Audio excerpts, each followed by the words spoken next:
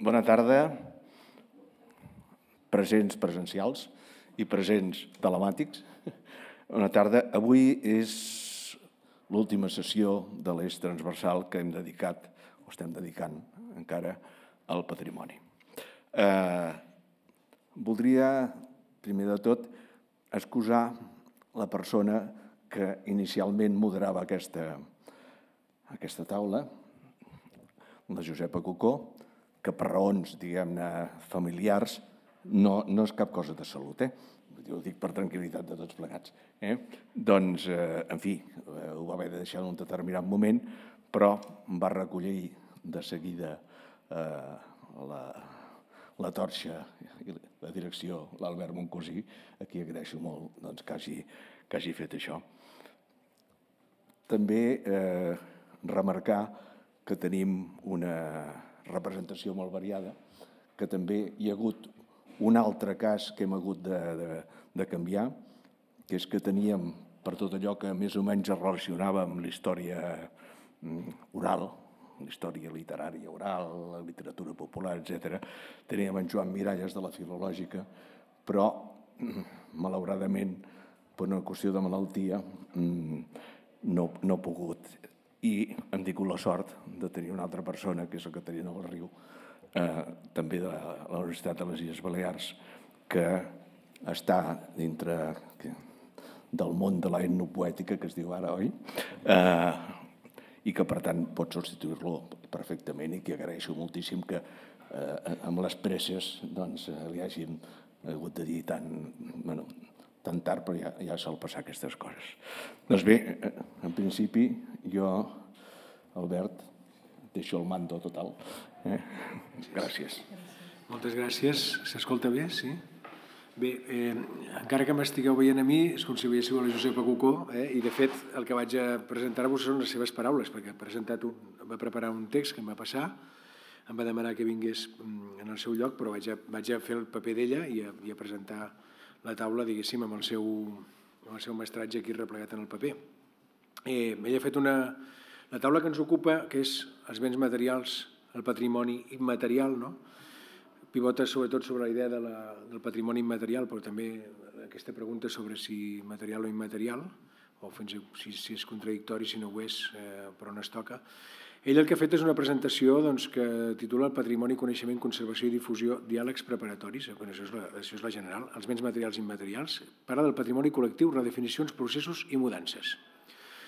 Bàsicament ell el que planteja és, fa un primer recorregut de, de com, com s'ha construït el patrimoni històricament, com el vuitcentisme sabem que el patrimoni estava lligat a la creació de l'estat-nació, el liberalisme, el capitalisme, que estava dut a, a través de, diguéssim, d'una concepció molt monumental, molt vinculada a, a una certa reificació, fetichisme, no?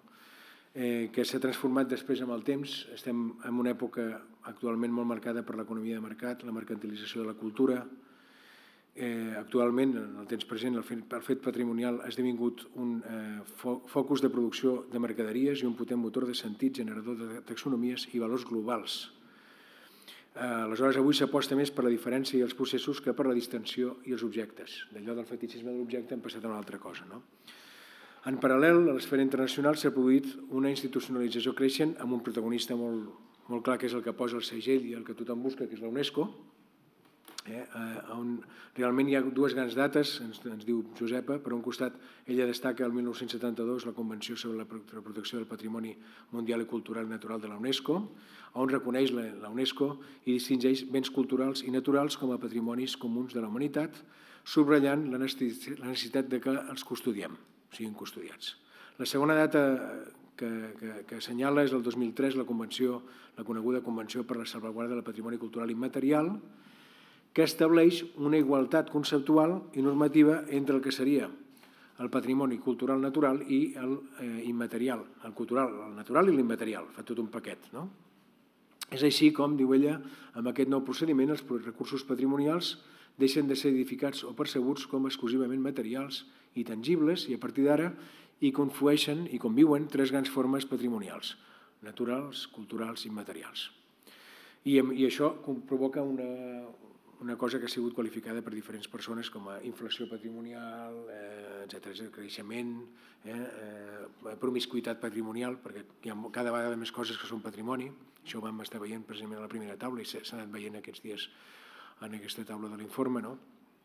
Si ens centrem en els béns patrimoni mundial, veurem que des de la dècada dels 70 del segle passat fins al, al 2023 s'han declarat 933 elements. Eh? Hi ha una taula en la que ella recull tot el que serien els, els, els elements, 933 de culturals, després n'hi ha 227 naturals i ella assenyala també 39 mixtes, en total 1.199, no? que en principi estaven molt, molt concentrats en zones occidentals, eh? que de fet quasi el 50% dels béns es troben a Europa i Amèrica del Nord, eh, Itàlia, per exemple, té 59 béns, França 54, Alemanya 52, Espanya 51, mm? i i eh, a més, eh, per tant, hi ha una certa centralització en uns determinats països. Per altra banda, és de destacar que des del 1978 s'ha produït una, una carrera, cada cop hi ha més gent, hi ha, hi ha més impuls per intentar incorporar noves coses, nous elements a la llista del patrimoni immaterial, que creix, eh, perquè vegeu, si el 1978 hi havia 12 menys inscrits, el 2023 són 1.129, 1.199, no? que cada cop sent més, van creixent. No? La Convenció del 2003 determina que el patrimoni està constituït immaterial per usos, representacions, expressions, coneixements i tècniques, juntament, i aquí hi ha la qüestió aquesta ja primera pregunta sobre material i immaterial, no? amb els instruments, objectes, artefactes i espais culturals que els són inherents, i tanquen el guió, no? estic llegint literalment el que diu la, la Convenció, que les comunitats, els grups i en alguns casos els individus reconeguen o reconeixen com a part integrant del seu patrimoni cultural. Aquest patrimoni cultural immaterial que es transmet de generació en generació és recreat constantment per les comunitats i grups en funció del seu entorn, la seva interacció amb la naturalesa i la seva història, infonent-los un sentiment d'identitat i continuïtat i contribuint així a promoure el respecte de la diversitat cultural i la creativitat humana. En això, la Convenció identifica cinc àrees. Tradicions, expressions orals, inclosa la llengua, arts escèniques, pràctiques socials, rituals i esdeveniments festius, coneixements i pràctiques relatius a la naturalesa i a l'univers i coneixements tècnics vinculats a l'artesania tradicional. Tot això formaria part d'això. Quan un ho veu, de fet, és una de les coses els que del ram de l'antropologia, com és el cas de la Josepa, de jo mateix i d'alguna persona més que m'acompanya a la taula, que presentaré després, reconeixem ràpidament un, una vinculació molt directa entre el que és aquesta eh, concepció de patrimoni i el que, el que havia sigut conegut al segle XIX com a folklore. No? De fet, hi ha un, una connexió bastant directa entre les dues coses, no? que assenyala la Josepa Cucó. De la meitat del segle XIX, concretament el 1846, doncs William John Toms va, va assenyalar, va encunyar la paraula folklore per designar la ciència dedicada a l'estudi dels sabers del poble. Molts d'aquests sabers, d'aquests elements que entraven en aquest paraigua, són els que avui conformen bona part del que es defineix com a patrimoni o reconeix com a patrimoni immaterial. No? Eh, en el seu moment, el folclore investigava, proposava investigar zones aïllades, que es preferia que on els informants fossin analfabets, les persones fossin alfabetes, fossin elements culturals que ningú havia, havia descobert i que estaven allí amagats i havien de, de sortir a la llum, que era un paper, el paper que es feia. I, de fet, es van produir aleshores primers processos de patrimonialització que van originar, eh, per exemple, eh, museus diferents com l'Arqueològic de Madrid, el Gabinet Científic de Tenerife, el Museu Canari de les, les Palmes, l'Arxiu d'Etnografia i Folklore de Catalunya, tota una sèrie de projectes que van néixer redors d'aquesta noció de folklore. No? Tornant a la Convenció de 2003, diu Josepa, dels seus resultats podríem destacar quatre qüestions que considera importants. La primera que assenyala ella és la Convenció estableix la igualtat conceptual i normativa entre patrimoni cultural, natural i material, eh, que per tant se consideren equivalents pràcticament. La segona característica és que eh, el patrimoni cultural acaba comprenent també l'immaterial i aleshores es reconeix una associació directa entre llocs, monuments, museus, eh, també elements i espais físics amb una qüestió immaterial. I la tercera és que en el nou procediment els recursos patrimonials no només deixen de ser edificats i percebuts com a materials i tangibles, sinó que també es produeix un canvi de rumb molt interessant i que és molt característic del patrimoni immaterial cap al subjecte, es desplaça l'interès des de l'objecte al subjecte, que és el que d'alguna manera estaria al darrere. No? I per últim, el quart element que destaca Josep Cucó és la consideració del patrimoni com a procés, que és el que, posa, que acaba de ser més important que el propi objecte i el, el fet de que sigui un procés en el que hi ha una transmissió intergeneracional i que permet eh, transmetre elements de la identitat que, i de la diversitat. Aleshores s'enfasitza, aquest és el quart element, la participació i la comunitat. No? Bé, aquests són els, els elements que, que es destaquen, eh, però realment, i aquí ella posa l'accent en un en particular, que és la participació de la comunitat en l'elaboració de les candidatures, que és un requisit pràcticament el fet de que hi hagi algú que és... Eh, I és molt interessant veure doncs, fins a quin punt què és una comunitat exactament, qui són els que són una comunitat per definir que una cosa sigui patrimonialitzada. No? I és aquesta una miqueta la pregunta que ens posa damunt de la taula la, aquesta, aquesta convenció, no? insistint en la idea de la participació de la, de la, participació de la comunitat. Eh, tal ha sigut el creixement que la pròpia UNESCO ha limitat quants, quants, quantes candidatures pot presentar cada país, perquè n'hi ha masses ja. Llavors ja, ja està limitat. No? Ha limitat la presentació de noves candidatures, i a més a més ha intentat fomentar les candidatures multinacionals perquè malgrat que s'ha fet un viatge, en origen ja hi havia una vinculació amb la idea d'estat-nació i continua havent-la perquè la UNESCO no deixa de ser un òrgan que representa estats també, no? Eh? I per tant, d'alguna manera, hi ha una limitació i un intent de fomentar eh, les, eh, diguéssim, les candidatures multinacionals. Des del 2008 s'han declarat en total 676 elements com a patrimoni immaterial a tot el món eh, eh, i eh, i durant aquest període, i en contrast amb el que observàvem amb els béns del patrimoni mundial clàssic inicial, diguem, cultural natural, s'ha presentat una tendència eh, que ha desplaçat l'interès des de l'occidentalisme i l'eurocentrisme cap a un globocentrisme i una certa orientalització, compensar, compensar una miqueta cap a, cap a altres territoris que no siguin eh, Europa. No? Bé, eh, pel que fa a Espanya té 20 béns, immaterials, aquí ella ens planteja un recompte de diferents candidatures, en les quals el 70% eh, de, les, de les candidatures són a terres de parla catalana, el 70% de les que han sigut declarades, aquí hi ha tot el llistat, no? eh, que són xifres que d'alguna manera palesen el notable interès de les comunitats, la societat civil, les institucions públiques, les organitzacions econòmiques, que tenen interès de mercat també, en, eh, que estan darrere de promocions de candidatures i que són aquests subjectes de les candidatures que al mateix temps han de fer han d'aconseguir que no sigui no s'identifiquen ells com els subjectes, sinó un poble que se suposa que és el que representa la candidatura, una comunitat. No? Bé, eh, això és la base que ens planteja la Josepa Cuco i per això tenim aquestes persones aquí a la taula, que són les que ara ja vaig a passar a, passar a presentar-los, que m'acompanyen. Eh, de dreta a esquerra, el, eh, a la dreta del tot tenim la Caterina Valriu, que és catedràtica de Filologia Catalana i Lingüística General de la Universitat de les Illes. Eh, bona, bona tarda. Eh, és especialista en literatura popular i tradicional, eh, també en literatura infantil i juvenil. Té diversos treballs, projectes i tesis dirigides en un tema particular que és el que la porta aquesta taula, que és l'etnopoètica, sobretot, l'etnopoètica. També sobre el llegendari popular català, Eh, destaca, entre altres treballs seus, hi ha un projecte en particular que a mi m'ha cridat l'atenció en veure la, la, la seva biografia, una mica la, el, seu, el seu currículum, que és el bibliofolk, no?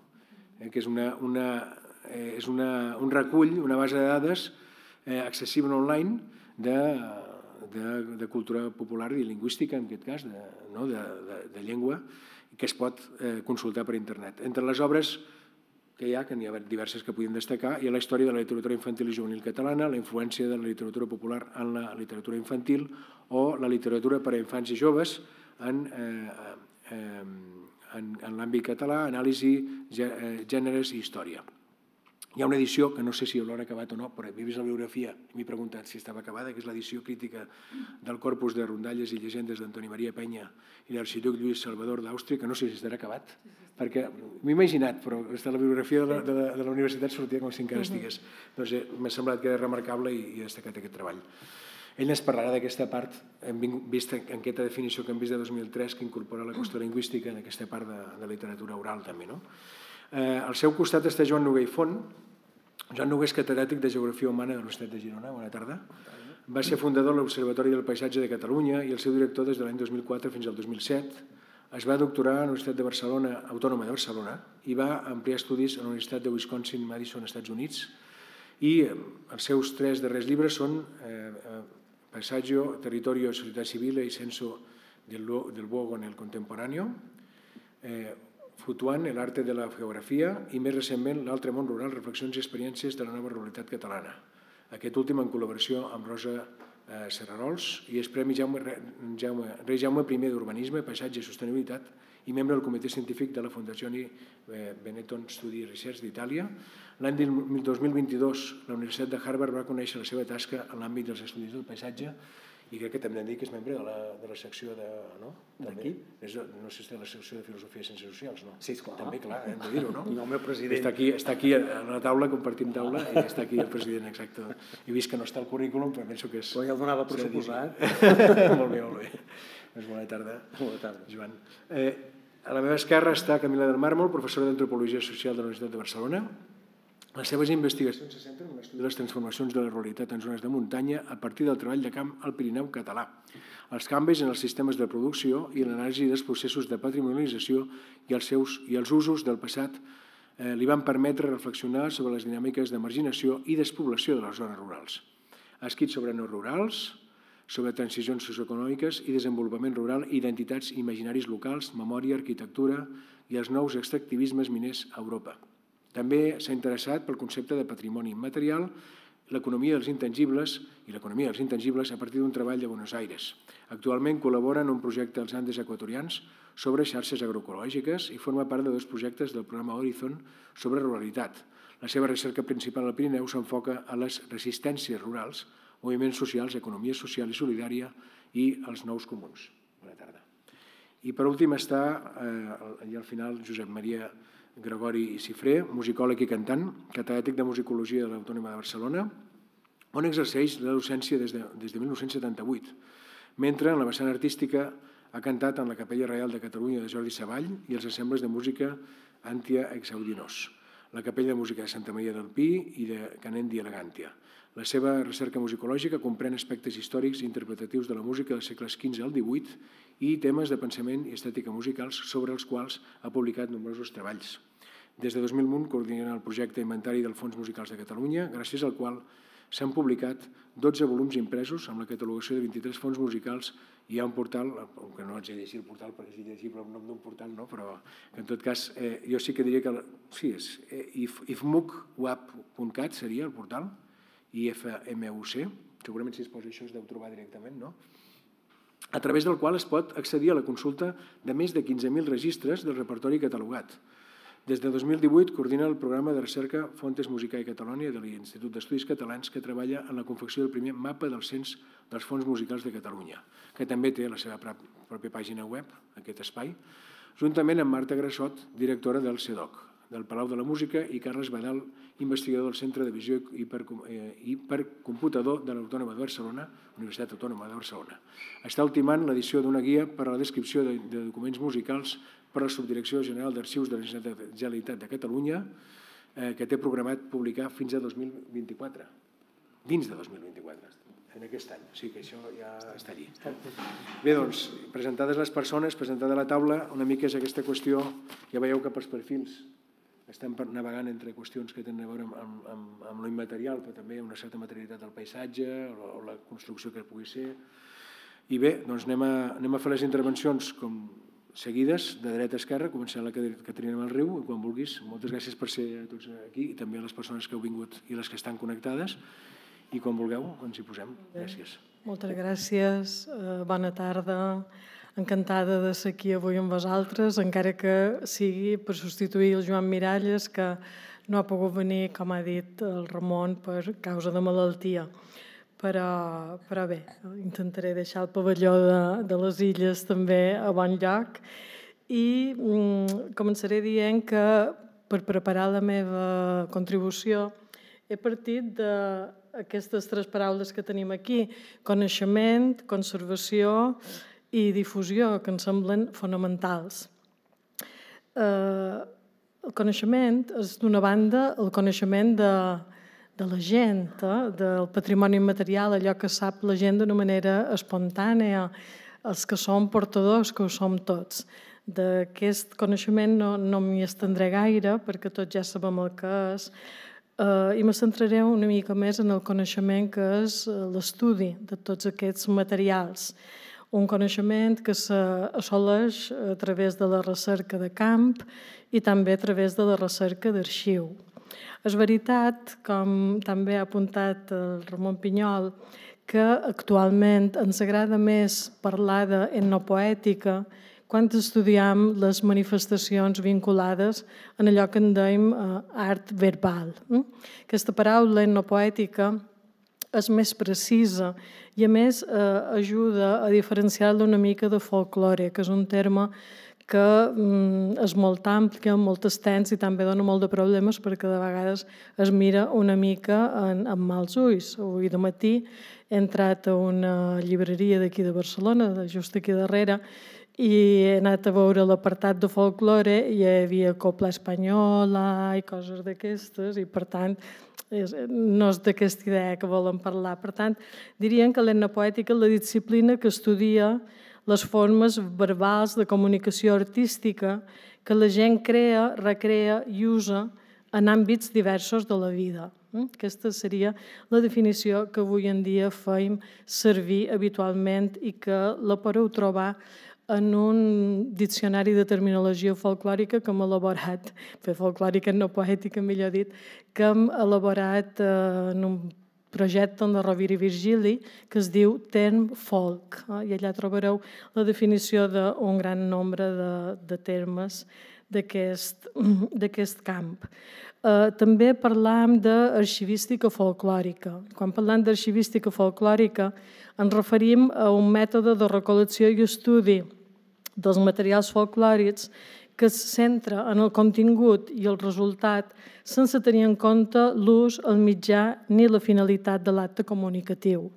L'arxivística folclòrica són les fotos fixes, per dir-ho d'alguna manera, que tenim dels de recopiladors, la majoria de recopiladors des del segle XIX ençà, que recollien balades, cançons, parèmies, rondalles, les escrivien més o menys fidelment a, l'oralitat, de vegades no gaire fidelment, posant-hi de, la, de la seva cullera, i no sabem gairebé ni qui ho va explicar, ni com, ni quan, ni de quina manera, ni en quina finalitat tot i que seguim valorant molt aquests materials i estudiant-los, eh?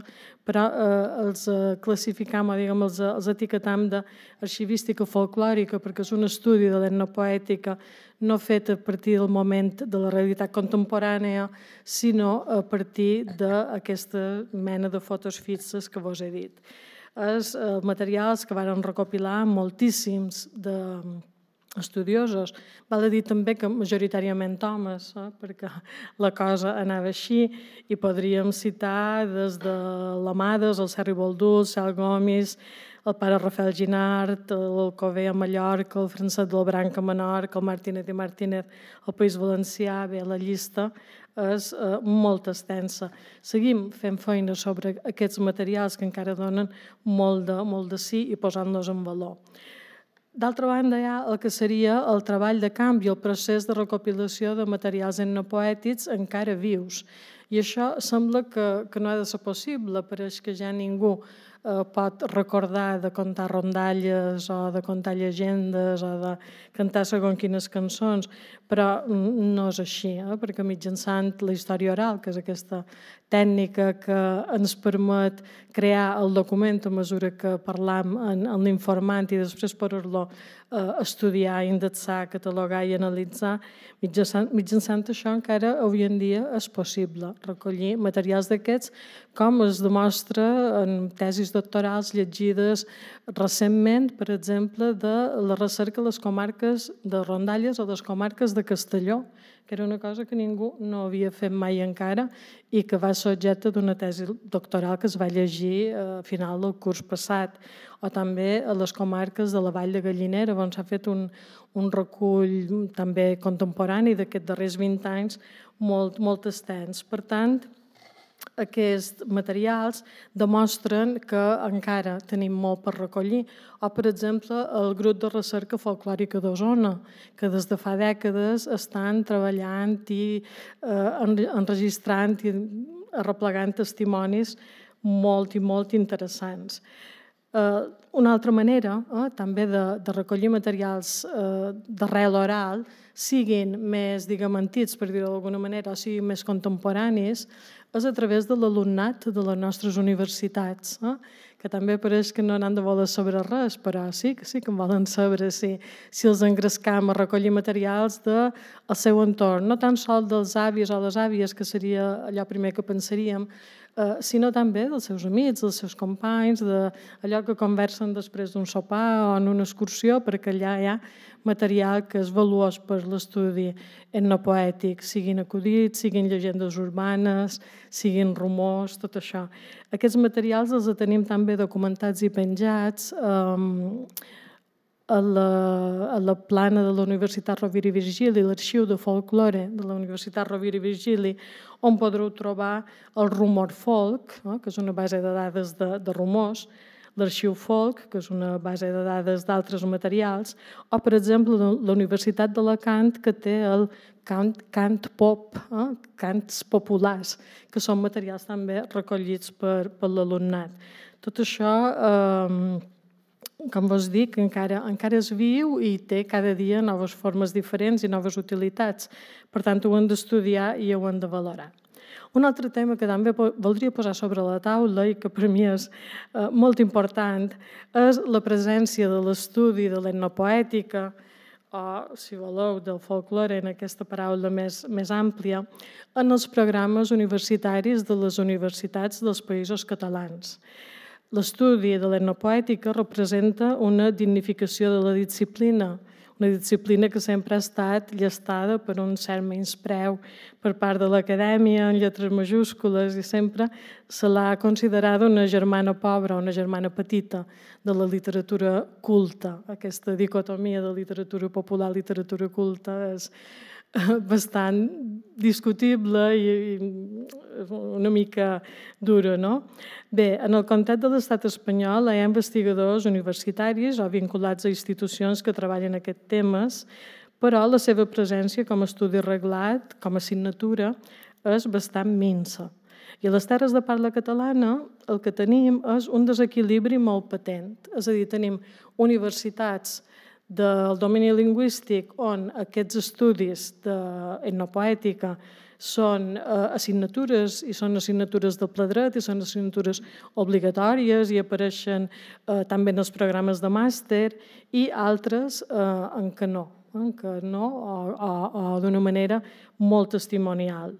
Eh, sens dubte, la Universitat Rovira i Virgili de Tarragona és la capdavantera eh, en el nostre entorn Allà s'han liderat més de cinc projectes i més de sobre etnopoètica, estudiat des de diverses perspectives, i eh, han creat una eina que és el RONCAT, que és una base de dades de totes les rondalles eh, recollides en llengua catalana, que és extraordinària i que això no ho tenen ni en espanyol, ni en francès, ni, ni en italià, ni en portuguès. Eh, tenen catàlegs, però no eh, penjats eh, en línia. Per tant, és, és un material també fan una revista, la revista ELOP, i eh, amb un equip de professors que treballem en aquesta línia d'altres universitats, juntament amb la Rovira i Vigili, han publicat una història de la literatura popular catalana, cosa que no s'havia fet mai d'una manera sistemàtica, que té també una versió en llengua anglesa.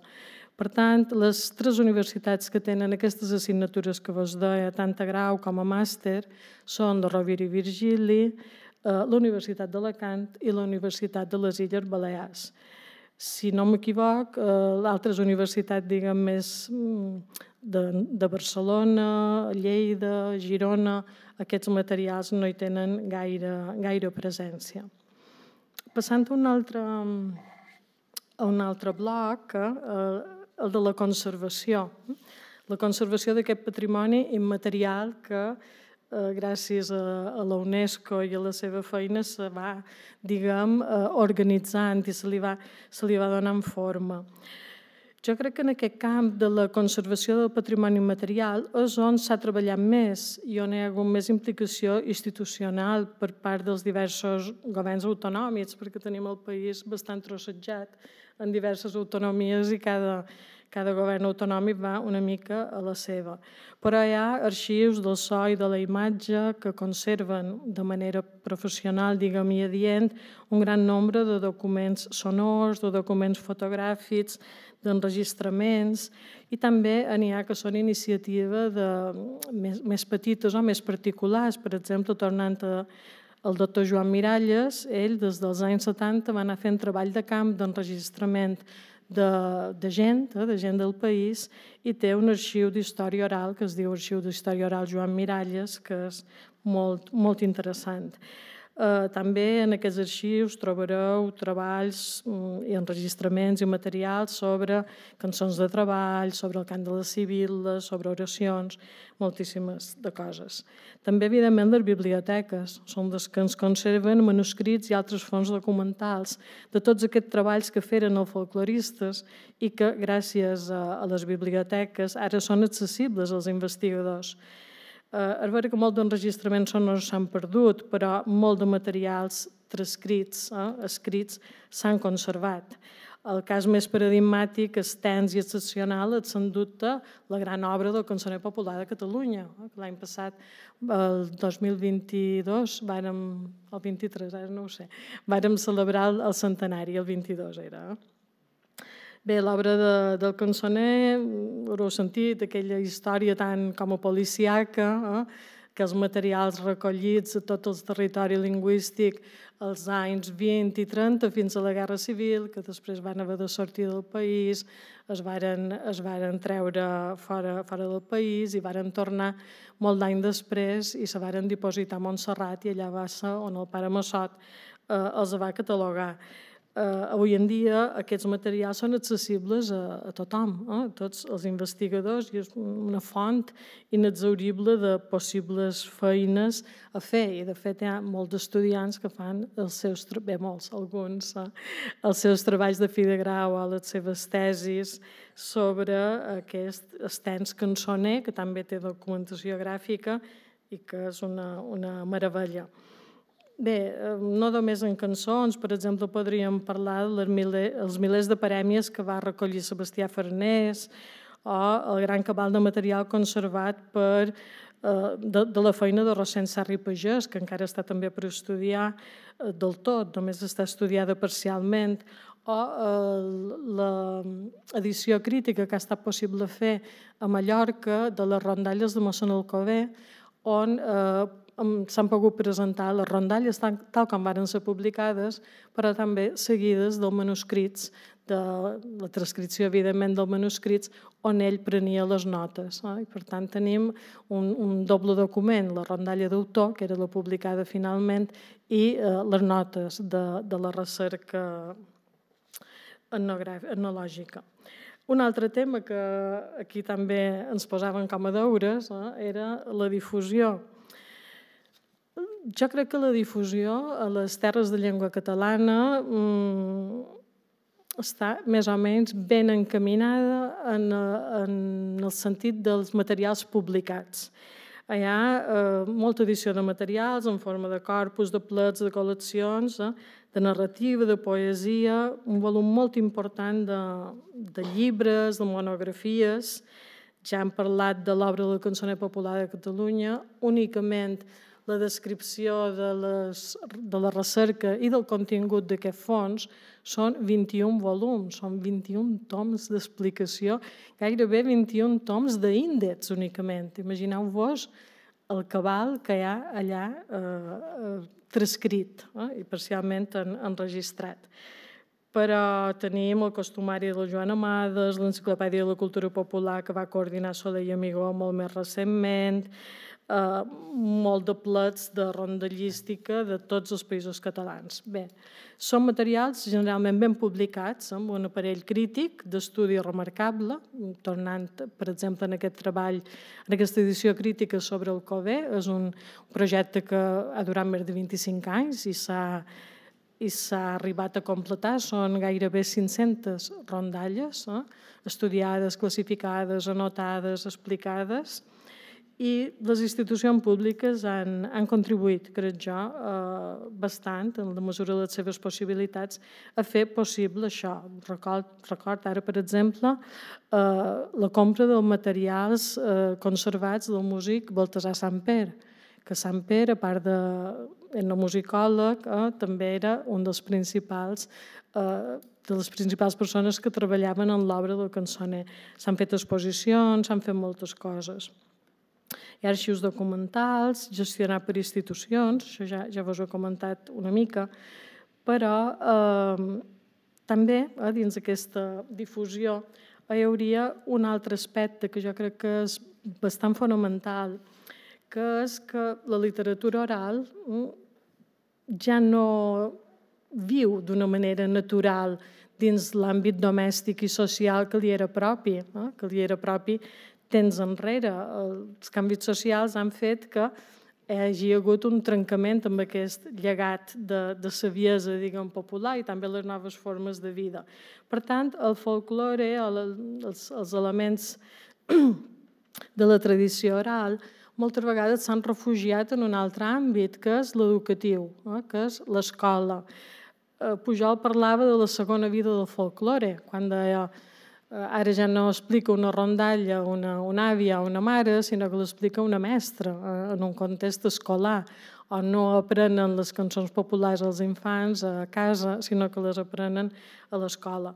Aquesta segona vida del folklore probablement és l'única gairebé vida possible en aquests moments per salvaguardar molt de material, ja siguin cançons, ja siguin narracions o siguin elements de costumari.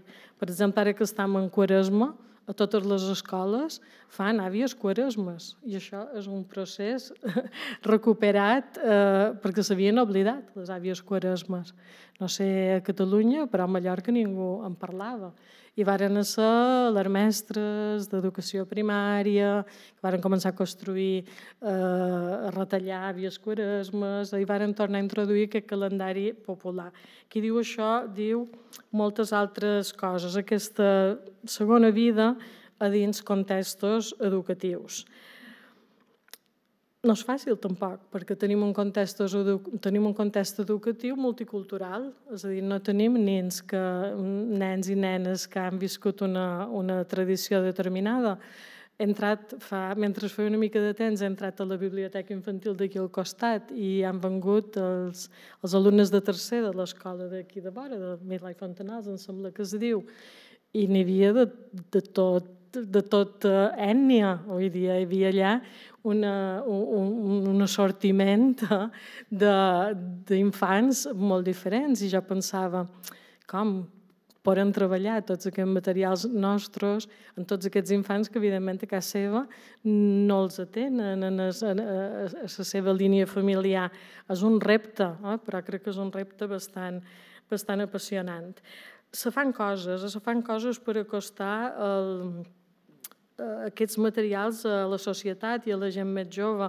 Per exemple, eh, a Mallorca s'ha fet una app, eh, una app d'aquestes que descarregues al mòbil, que es diu l'Illa dels Tresors. I és tot un treball molt engrescador per, pels infants i pels joves on eh, es treballen les llegendes. Eh? Es treballen les llegendes situades al territori, eh? sobre un mapa de Mallorca estripat en 10 fragments perquè la televisió va fer oblidar les llegendes els joves jugadors actuals han d'escoltar, eh, llegir, treballar aquest llegendari i reconstruir aquest mapa. És, és una manera eh, d'arribar-hi. O també jocs de taula i moltes altres coses. Eh, és la manera eh, de trobar noves vies. Eh? Hi ha moltíssim, moltíssimes pàgines web també on trobareu eh, enigmística, on trobareu paramiologia, on trobareu molt de materials, cançoner, i hem de posar mà d'aquests elements que tenim. Bé, a tall de conclusió, eh, ja anar acabant, crec que la cultura catalana té un patrimoni material vinculat a l'oralitat extraordinari. Eh? Crec també que el té ben recollit, eh? molt ben recollit, des del segle XIX fins a l'actualitat, ja hi ha pocs racons on no s'hi hagi fet el manco una intervenció important de recopilació. Aquesta recol·lecció està generalment ben conservada, tot i que sabem que n'han perdut una part eh, important. Eh? els processos d'estudi d'aquests materials són de qualitat i també quantitativament són importants, però on hi ha més mancances és en la difusió d'aquests materials a la societat actual, especialment a les àrees més metropolitanes que viven d'esquena en aquest patrimoni. Hi ha zones del país on aquest llegat és força valorat i dona lloc a noves manifestacions, pot ser festives o renovades, que beven de tradicions vinculades a, a l'oralitat però eh, ens cal seguir treballant, no ens podem adormir i ah, de nou varen recollir molt de materials, tenim molta cosa, podem anar fent arxivística folclòrica durant 200 anys i no, no l'acabarem. No podem plantejar així, ho hem de plantejar com eh, una vivència ja... Eh, L'enyorat Josep Maria Pujol parlava ja el 1985 de l'obsolescència dels gèneres folclòrics. Evidentment hi ha uns gèneres que, s'han perdut, han, han deixat de ser funcionals, però n'hi ha d'altres, s'han reformulat. A mi més que s'han perdut m'agrada més dir s'han reformulat i n'hi ha que són vius. Eh? Són vius els acudits, són vives les llegendes urbanes, hi ha un nou cançoner, la poesia oral improvisada viu una edat d'or, eh? segons quines zones del país, i el folklore que ara circula en línia és també valuós, important i ha de ser objecte d'estudi. I bé, hem de lluitar contra el patrimoni oral, eh, hem, de, hem de lluitar pel nostre patrimoni oral perquè si no tenim un, un plantejament totalment homogenitzadors i estandarditzadors. I es tracta de eh, lluitar en aquesta, en aquesta direcció perquè és eh, identitat. Mm? Gràcies.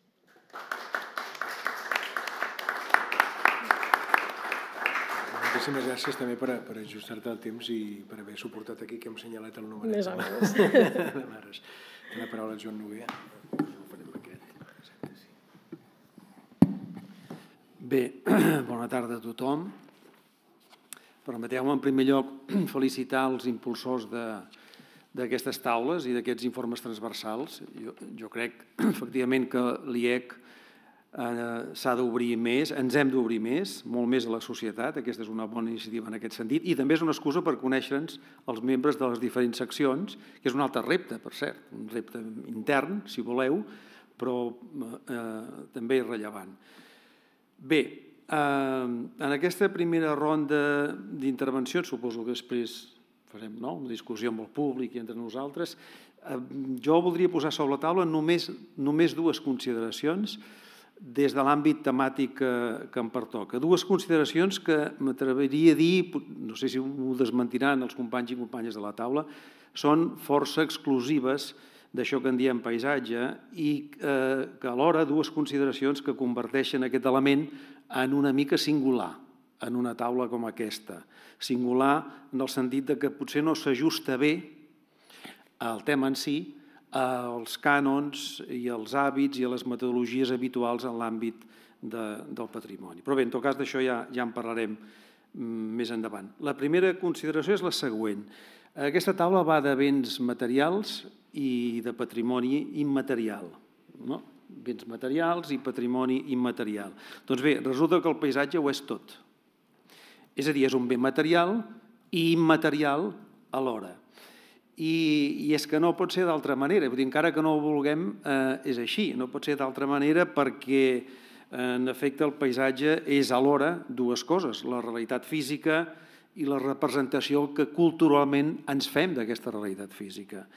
És la fesomia externa d'una porció de la superfície terrestre i alhora la percepció individual i social que aquesta mateixa fesomia ens genera en definitiva, és, un tangible geogràfic, sí, efectivament, es pot tocar, es pot olorar, eh, però és també eh, un intangible, és la seva interpretació intangible. Encara ho podem simplificar més si diem que és senzillament el significant i el significat, que és el continent i el contingut, que és la realitat i la ficció, però no una cosa davant de l'altra, sinó les dues coses alhora, eh, la qual cosa converteix la temàtica en apassionant, però alhora complexa. complexa. Ja d'entrada s'ha de dir, i també en l'àmbit del patrimoni, perquè quan parlem de paisatge i patrimoni, eh, almenys nosaltres no tenim més remei que tenir en compte aquesta dualitat, amb tot el que, amb tot el que això implica, que, que no és poc. De fet, sempre s'ha entès així, en realitat, el paisatge, i parlant d'etnopoètica, eh, poetes i pensadors com Lin Yutang, d'origen xinès, eh, ja fa anys ho interpretava d'aquesta manera, entenia el paisatge d'aquesta manera, ell parlant, en aquest cas, des d'un punt de vista més estètic. Deia, la meitat de la bellesa d'un paisatge depèn del propi paisatge i l'altra meitat del qui el contempla. Per tant, aquesta, aquesta dimensió dual ha estat sempre eh, present, sempre present, només eh, dins l'acadèmia, quan eh, s'estableixen els llindars, les fronteres entre diferents camps del coneixement, es trenca artificialment aquesta, aquesta dualitat. Però bé, aquesta, aquesta, aquest, això seria objecte d'un altre debat que no és el que ens pertoca. Per tant, primera consideració. La segona consideració és la següent, i és, que, i és aquesta. Mm, eh, I parteixo en primer lloc d'una reflexió prèvia. Mm, en l'àmbit de les polítiques públiques, i aquí incloc tant les de caràcter territorial, ambiental i paisatgístic com les de caràcter patrimonial i cultural, tendim a ser, almenys en la nostra cultura, bastant binaris què vull dir amb això? Que tendim a veure les coses eh, en blanc o negre, això és bo i allò és dolent, això val la pena i allò gens, això s'ha de protegir i això no cal. Mm? Eh, sol ser bastant així, estic simplificant, eh? sol ser bastant així. Però és veritat que, en general, i si ens hem apropant a l'àmbit més de les polítiques patrimonials, en el sentit ampli, allò que està catalogat i inventariat, qualsevulla de les fórmules que un, que un eh, eh, miri, ja sigui un espai natural, ja sigui un bé cultural, serà objecte de protecció en diferents graus, això sí, en funció de l'ordenament jurídic vigent, que canvia a cada país, a cada regió, però en qualsevol cas serà objecte de protecció. Però allò que no ho està, allò que no està inventariat, que no està catalogat, romandrà en l'oblit i en la indiferència, en el millor dels casos, en una terra de ningú on no se sap ben bé què cal fer ni com. I aquesta forma, ja sé que la realitat és més complexa, però grosso modo funciona bastant així, aquesta forma de patrimonialització oficial, diguem-ho així, no funciona en el cas del paisatge i sempre ens ha portat molts problemes. I no només no funciona, sinó que té conseqüències indesitjables. I, eh, jo no em sento autoritzat per afirmar el mateix en el cas dels altres tipus de patrimoni que, que vosaltres, eh, companys i companyes de la taula, representeu. Però en el cas del paisatge, la norma, és dir, el sistema de patrimonialització oficial i habitual, i no aquí, eh, molts altres indrets, molts altres països, molts altres contextos, no funciona. Perquè resulta que nosaltres no necessitem només protegir, no necessitem només protegir, conservar eh, sinó tenir en compte els valors patrimonials dispersos per tota mena de paisatges, fins i tot els paisatges ordinaris, els, els col·loquials, aquells que aparentment no tenen cap mena d'interès, eh, també, fins i tot en aquests, fins i tot en aquests. Dit d'una altra manera, no ens funciona aquesta mirada al territori i al patrimoni en forma de taques d'oli o, si ho preferiu, en forma de tauler d'escacs, és a dir, a una banda, àmbits geogràfics i béns culturals ben delimitats que seran objecte de mesures de protecció i a l'altra, la resta, els territoris de la vida quotidiana i els milers i milers d'objectes i d'elements patrimonials no inventariats ni catalogats que romandran, com deia, a la intempèrie. I podríem posar centenars d'exemples, estructures parcel·làries, eh, algunes d'elles mil·lenàries, però d'això no se sap, eh, feixes, algunes d'elles també centenàries, tampoc se sap, una xarxa de camins determinada, una cabana de pedra seca, fins i tot les casetes dels peons camioners, anuncis publicitaris perduts la, per les carreteres de les dècades dels anys 40 o 50, que encara esquitxen molts racons del país. És dir, hi ha un munt d'elements eh, patrimonials, entre cometes, o de potencial valor patrimonial, que difícilment seran mai declarats ni béns culturals d'interès local, ni molt menys béns culturals d'interès nacional, però no per això deixen de tenir interès. I potser no seran protegits ni inventariats seguint els paràmetres habituals de la catalogació patrimonial, però sí s'han de poder encabir, i aquest és el repte que nosaltres plantegem, en la gestió quotidiana i dinàmica del territori, també en la urbanística. També en la urbanística. Des de l'Observatori del Paisatge de Catalunya ho portem reclamant de fa temps, de fa anys. I d'aquí el projecte que alguns de vosaltres coneixeu, em sembla que tu, Marta, el coneixes bé, el projecte PaisCat, paisatges, són les inicials de Paisatges Històrics de Catalunya, PaisCat, és una prova pilot que s'ha realitzat en cinc paisatges, cinc només dels 134 paisatges en els que hem dividit Catalunya, d'aquests 134 paisatges, eh, només s'ha aplicat com a prova pilot en cinc paisatges, que són la Conca de Poblet, l'Horta de Pinyana, Terra Prims, la Vall Cerdana i el Priorat, només en aquests cinc, i és una prova pilot consistent en aplicar-hi la metodologia que els nostres col·legues britànics ja fa anys, dècades, de fet, que apliquen que apliquen de fa temps i que en el seu cas és una metodologia coneguda amb el nom del Landscape Character Assessment. No? També ho fan els holandesos, també ho fan els suïssos, amb d'altres denominacions i amb metodologies lleugerament diferents i alguns més. Per tant, no, no estem inventant res, simplement estem intentant a aportar una metodologia que vagi més enllà del que les polítiques públiques oficials en l'àmbit del patrimoni ens ofereixen, perquè resulta que el que ens ofereixen no funciona, no ens serveix. Mm? I en què consisteix aquesta metodologia i aquestes metodologies que he citat, amb molt poques diferències entre elles? Simplement en entendre que el paisatge actual és, sobretot, estem parlant, de, estem parlant del context europeu essencialment, eh? eh en entendre, com deia, que el paisatge cultural en aquest context europeu és la suma de capes i capes d'història que ens remeten a un passat més o menys llunyà, la qual cosa implica tenir en compte la dimensió històrica del paisatge a l'hora de proporcionar informació rellevant per la seva futura, futura gestió i planificació.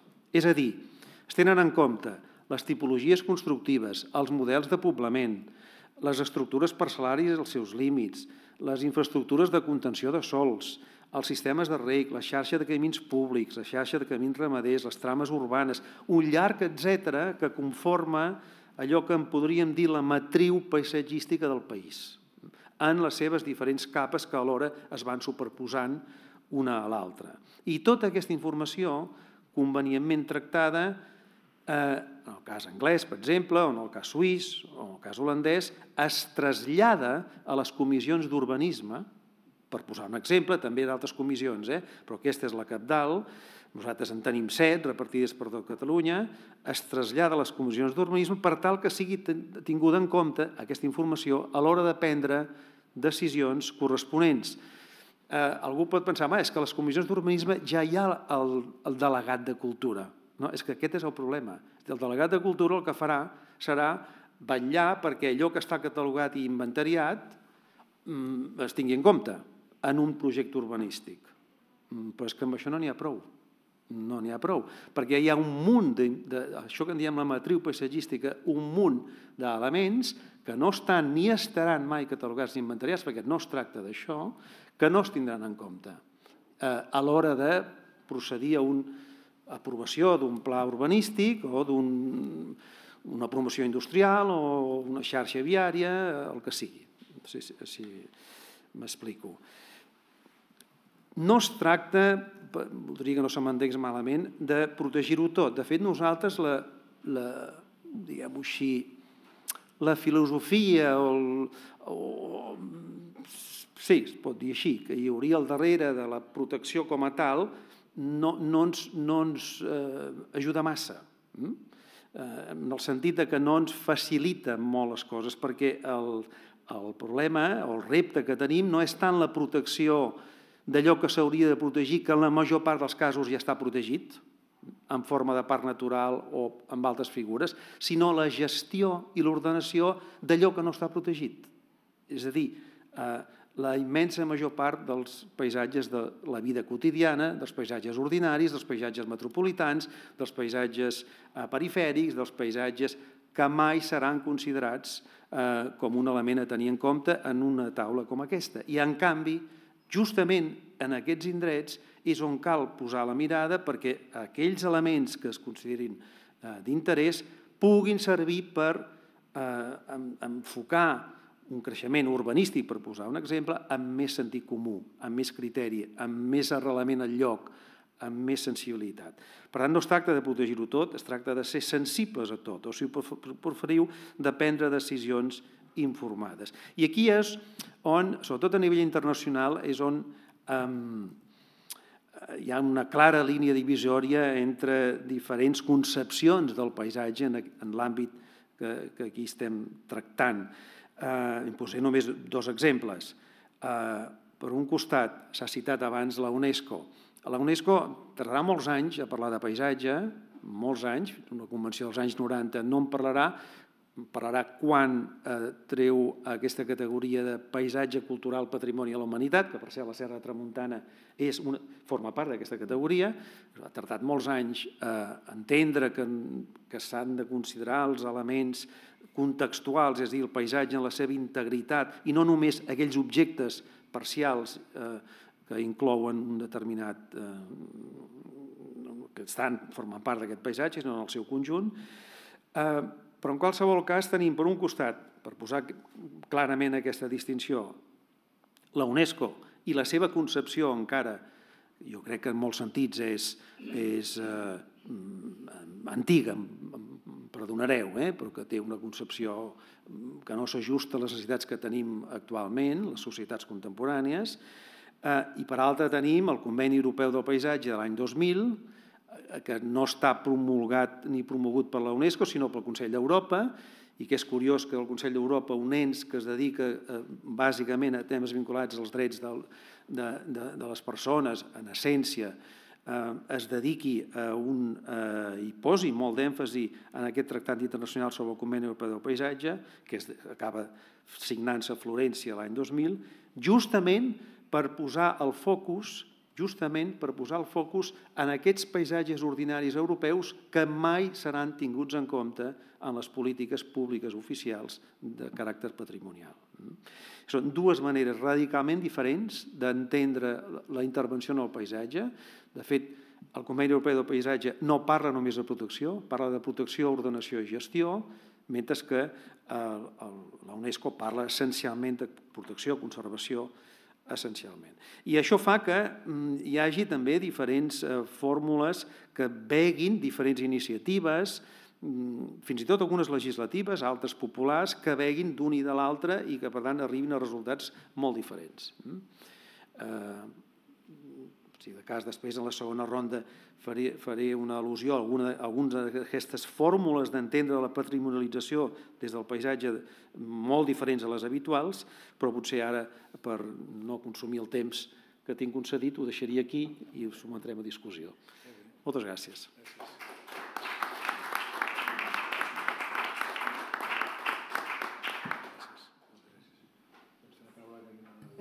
Si vols. Moltes gràcies. Bueno, bona tarda a tothom. Moltes gràcies per aquesta invitació eh, a, a, i per l'organització d'aquestes taules eh, i a la Josepa en, en la presència aquí de l'Albert. Eh, a mi em van demanar que parli de cultura popular i patrimoni, així d'una manera genèrica, i eh, vaig pensar quina era la millor manera de portar-vos eh, una mica la, una sèrie de genealogies conceptuals que ens permetin pensar què hi ha darrere d'aquests conceptes, no? una mica una història eh, de la seva conceptualització, que, que és molt rellevant perquè posen una mica en evidència què hi ha darrere, no? que quina és la, la ontologia que es vol eh, d'alguna manera copsar eh, amb aquests conceptes. I eh, per això, alguns elements els ha, ha esmentat l'Albert eh, en aquesta presentació, no? són temàtiques que estan relacionades, evidentment, amb aquesta evolució d'un concepte de cultura popular a folklore, a patrimoni etnològic i posteriorment a patrimoni immaterial, eh, però que ens permeten eh, fer una arqueologia del saber i entendre aquestes relacions de poder que estan intrínseques en, aquesta, en aquests desenvolupaments conceptuals i que ens permetran, permetran finalment també eh, copsar una mica les lògiques de la patrimonialització i com serveixen en línies d'estudis crítics del patrimoni per entendre les transformacions socioeconòmiques dels territoris contemporanis i en aquest sentit ho vull portar a la, a la recerca que he dut a terme al Pirineu català.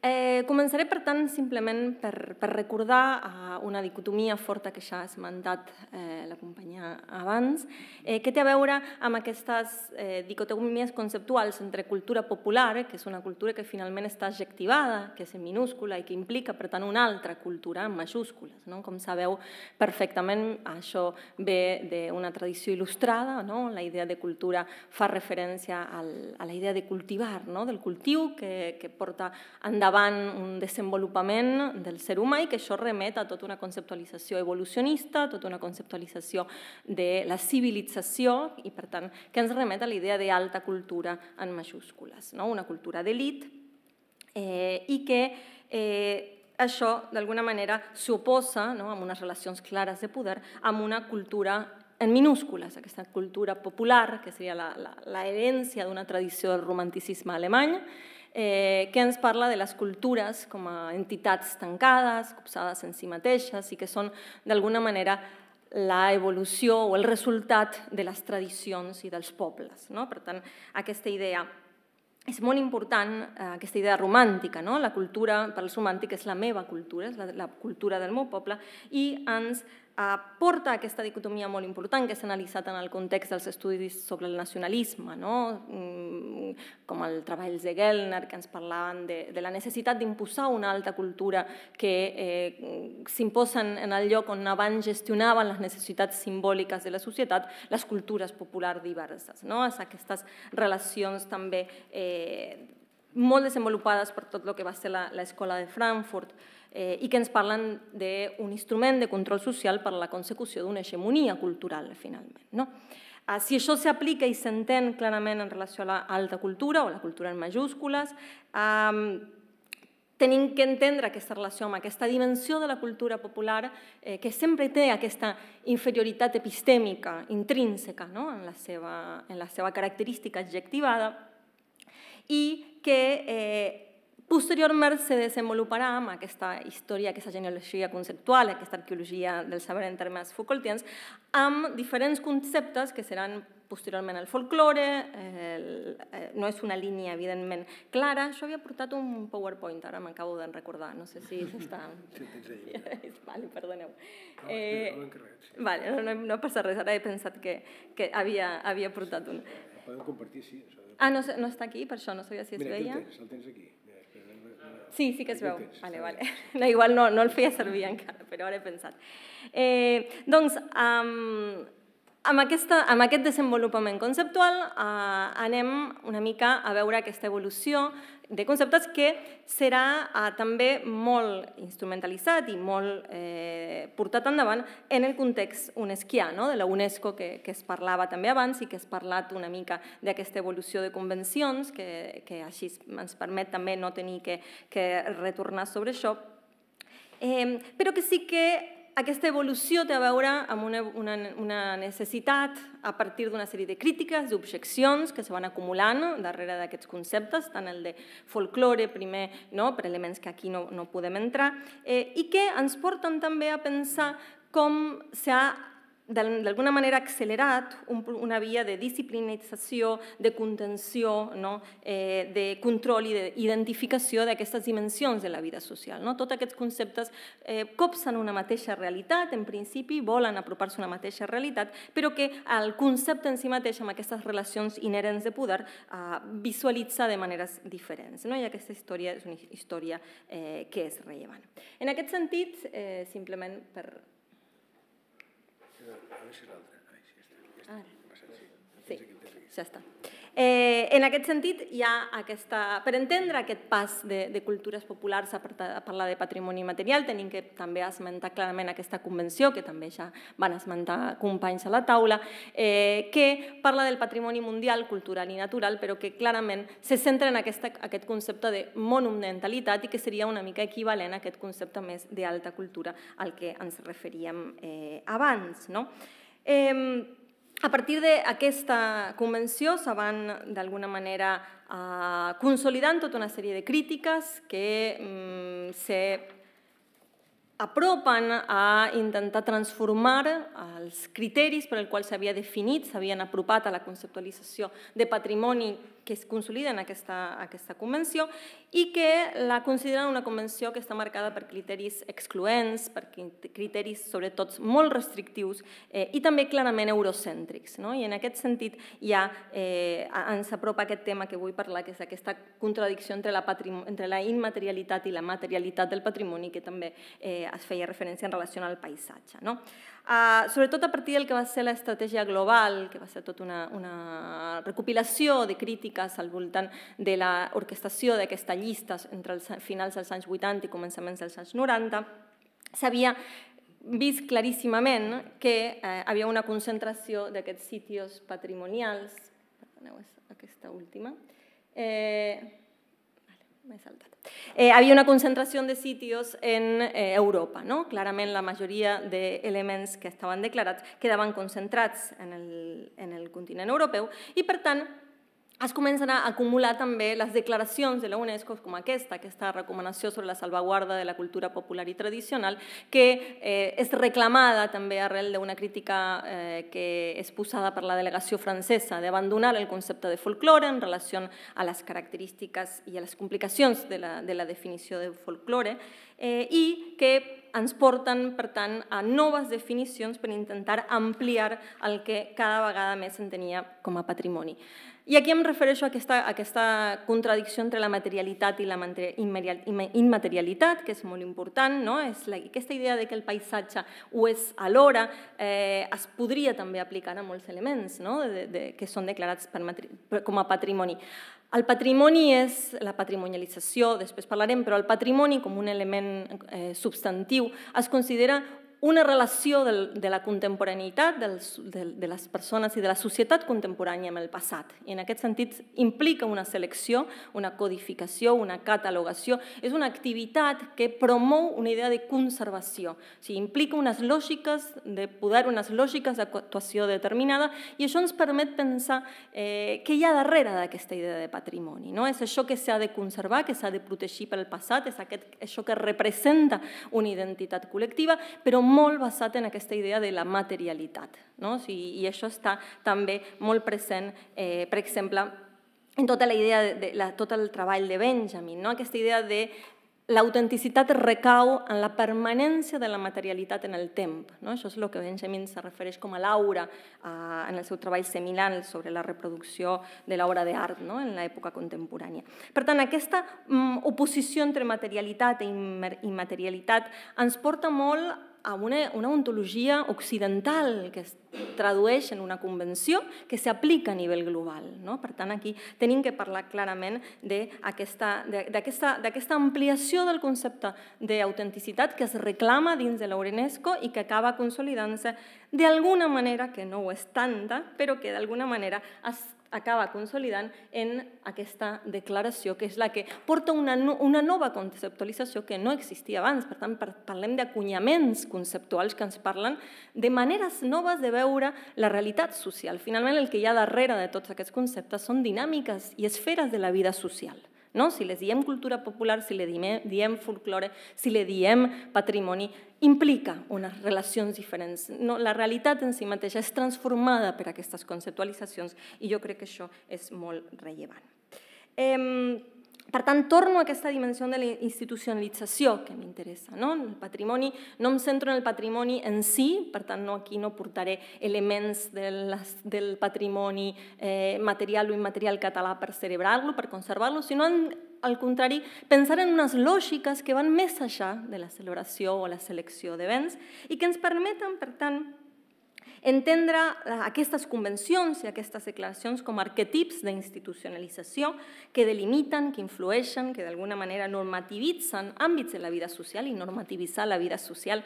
Hi ha un element de, de, de, de polític molt interessant per analitzar eh, i que, per tant, ens porta a parlar de tecnologies de poder, en aquesta línia d'anàlisi més Foucaultiana, però que no hem de oblidar que la cultura popular desborda aquestes categories. No? Tot això que sigui la, la categoria de cultura popular no es queda d'alguna manera tancada en les llistes de l'UNESCO i, per tant, ens parla, la, el patrimoni immaterial com a concepte, d'un nou encerclament de la vida social que ha estat analitzat per molts autors i autores com una nova acumulació primitiva, no? en termes eh, marxistes. Què passa, per tant, quan patrimonialitzem? No? En l'anterior sessió, Albert ja ens parlava des de l'antropologia, no? aquesta idea d'allunyar-nos del subjecte o del, del substantiu, perdoneu, patrimoni, apropar-nos a un procés social que és la patrimonialització. Jo m'he apropat en els meus treballs al Pirineu català, i m'ha interessat com aquest concepte, aquesta és la diapositiva que se m'ha colat eh, malament, perdoneu, aquí he tingut un, un petit eh, problema amb el PowerPoint. Però en tot cas, aquest mm, treballs al Pirineu català eh, m'han portat a pensar com aquest concepte s'ha utilitzat com un concepte fetichitzat que s'ha mobilitzat en el marc dels discursos del desenvolupament rural. No? Eh, en molts treballs eh, mm, parlem d'aquesta, senyalat aquest auge també dels intangibles, de les economies dels intangibles i com són paral·lels a l'auge de l'intangibilitat en el món de la cultura i del patrimoni i que això també ens porta a pensar en, en lògiques de patrimonialització que s'apliquen a territoris, em va portar a pensar com aquesta potencialitat que s'assumia era intrínseca al patrimoni se mobilitzava en, en contextes territorials per parlar de redefinició territorial, per parlar de la capacitat de resignificar diferents àmbits de la societat i de la, de la sociabilitat humana, sobretot, eh, i com a nivell global en moltes zones, en aquest cas, en el meu treball, en zones perifèriques de la ruralitat, eh, s'utilitzaven com a estratègies en el marc d'estratègies de revalorització i que en el context d'aquestes economies nostres contemporànies són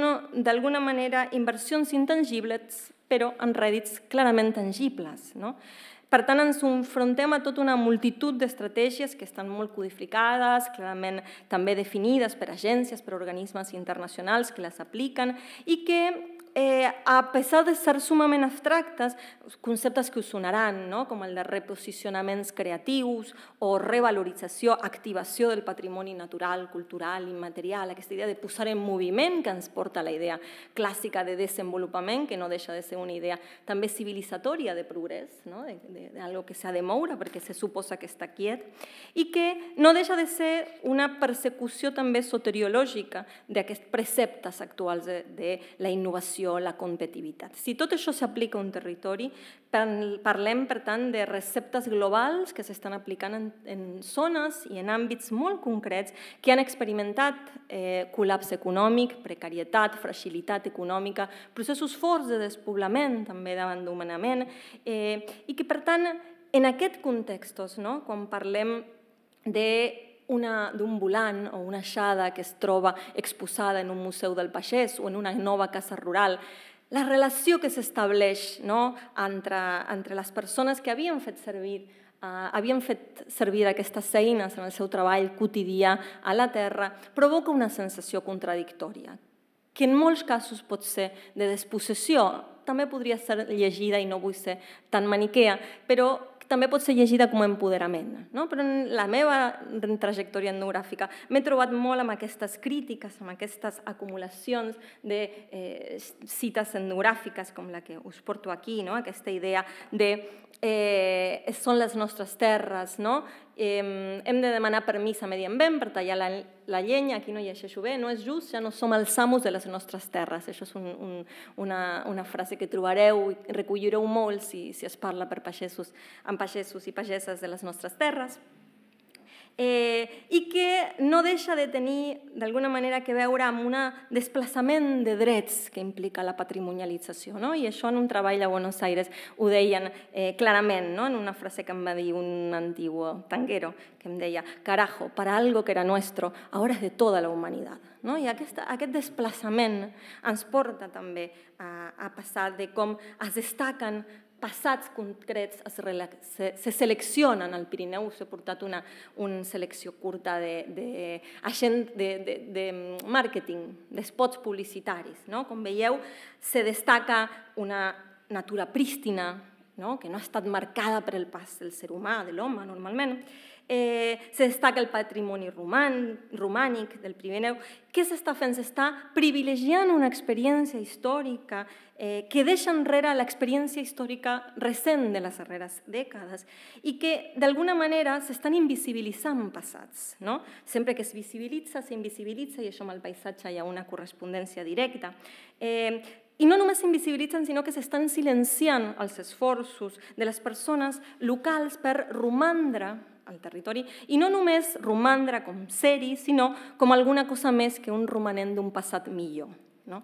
En algun d'aquest sentit, aquests imaginaris que estan silenciant altres històries recents eh, no deixen de ser promocions de polítiques turístiques que es presenten en forma de desconnexió, aquesta idea d'una condició ideal original d'aïllament, una cultura mil·lenària, una naturalesa prístina, que no deixa d'invisibilitzar aquestes especificitats de la història local, que queden obstruïdes per aquests discursos mítics, eh, i per tant són representacions que no hem d'oblidar que es basen en la forclusió de l'experiència històrica, política i econòmica de la població local. Com us deia, la idea és portar una mica a, aquestes lògiques, entendre com, com reconfiguren, com d'alguna manera ens fan repensar eh, alguns territoris. Però torno mm, a la idea que us portava abans, no? aquesta idea de això que sigui la cultura popular, que podríem debatre durant molt de temps, desborda el patrimoni, desborda les classificacions. No? I en aquest cas us porto,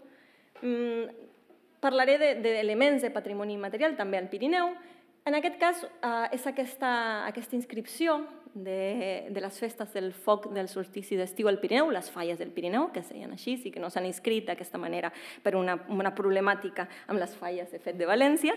Eh, però jo us porto aquest exemple de sort que el 2018 van organitzar, per primera vegada, ja inscrites les falles, van organitzar la, la baixada de les falles de sort. Per primer cop havia dades inscrites al 1919 de que havien baixat falles, però ho feien en el ho van celebrar en el context de lo que van anomenar les falles de sort per la llibertat. No? I l'objectiu era la recuperació d'una tradició perduda els darrers anys, eh, però que volíem omplir-la, deien, estic llegint, amb contingut social i solidari. Les entregues perseguiran convertir-se en una trobada reivindicativa encaminada a potenciar fets socials solidaris i de denúncia, però sobretot per posar en valor una festa que ja és patrimoni de la humanitat.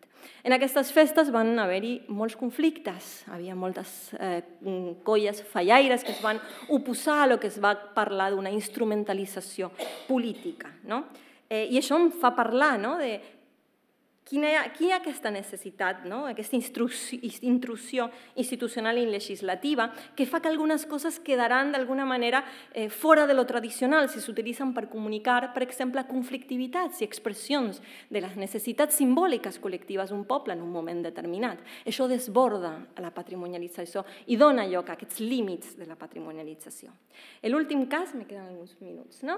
L'últim cas que us porto, que l'he treballat eh, una mica més, és el de Josa de Cadí. A Josa de Cadí celebren la festa dels càtars, eh, que el 2018 feia 20 anys. Celebraven els 20 anys de la festa. És un petit poble enfilat al capdamunt d'un promontori, està a la cada sud del Cadí, us convido a visitar-ho.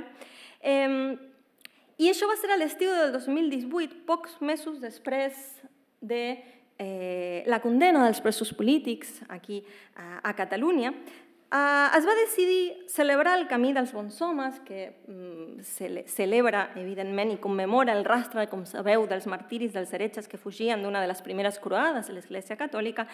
Es va decidir atorgar in absència el reconeixement de bon home a Jordi Turull. Jordi Turull era fill del poble, no exactament, eh, però és, eh, forma part d'una comunitat d'estiu i se sent, com ell diu en moltes ocasions, com a fill de Xosa de Catí. En aquest sentit, uh, va estar pres, va va venir, va assistir al president, llavors el Quim Torra, eh, i la festa es va convertir, d'alguna manera, en eh, una, alegoria, una alegoria molt forta de la resistència, de la justícia, eh, i que a partir de tota una sèrie de textos que es van llegir, una sèrie de cartes, de comunicacions, aquí això és un, uh, un recull de, un, del discurs del Quim Torra, que deia, entre altres coses, no podem tolerar que polítics honorables, demòcrates decents, bons homes i bones dones siguin a la presó. En aquest sentit, aquesta alegoria de la resistència a través dels càtars permetia parlar d'aquestes conflictivitats contemporànies, però també comunicaven una expressió que estava arrelada en la història i la identitat local e inserida en la narrativa mítica de la nació catalana. No? El recurs al passat en aquestes... Aquí tinc també una carta que va escriure el Jordi Turull per ser llegida aquesta celebració que deia entre altres moltes coses, i així seguirem a les verdes i a les madures i sempre al costat dels bons homes i les bones dones. Al llarg de tot el dia es van recórrer moltes, eh, es va recórrer durant diferents moments aquesta història del catarisme. Eh, que permetia, com ho deia, una expressió de sentiments de fracàs i de derrota, però per transformar-los en narratives de futurs possibles. No? Així com l'exterminació del catarisme havia donat pas a narratives de salvació en una multitud d'usos del passat que es van estendre no? en festes, en, en, en mercats càtars i que d'alguna manera van permetre uh, projectar en el temps un, un, un, un poble que havia estat eh, totalment eh, desaparegut oferien també un camí de redempció i que permetien pensar el fracàs contemporani. No? Les llàgrimes van ser un fet molt habitual eh, durant tot el dia eh, i d'alguna manera a través dels càtars se posaven per davant els, els Pirineus també, no? reclamant aquest paper privilegiat no sols en la història del país sinó també en les lluites contemporànies i en el futur anhelat. És a dir, aquesta festa no es queda en el passat. Quan parlem de patrimoni és important sempre pensar eh, com aquesta, aquesta dimensió de la vida social ens permet portar la nació a la vida, no? és aquesta idea d'un nacionalisme afectiu, eh, i les festes són espais per la comunicació d'aquestes dinàmiques fonamentals. Per tant, des del fracàs i la derrota, els càtars mostraven un horitzó de resistència, de dignitat, però també de permanència, de continuïtat, lligaven la història contemporània de Catalunya als fets històrics i viscuts d'aquest d'aquest Pirineu català despoblat eh, i abandonat no? en una narrativa alternativa que ajudava a continuar construint nous camins. Per tant, acabo ja amb aquesta idea de que el patrimoni és una eina també conceptual d'institucionalització, de normativització, que serà desbordada necessàriament, i per sort també, i que ens permet pensar nous futurs, mobilitzant sempre el passat en aquest context d'expectatives, de potencialitats i d'esperances d'un futur canviant sempre des del present.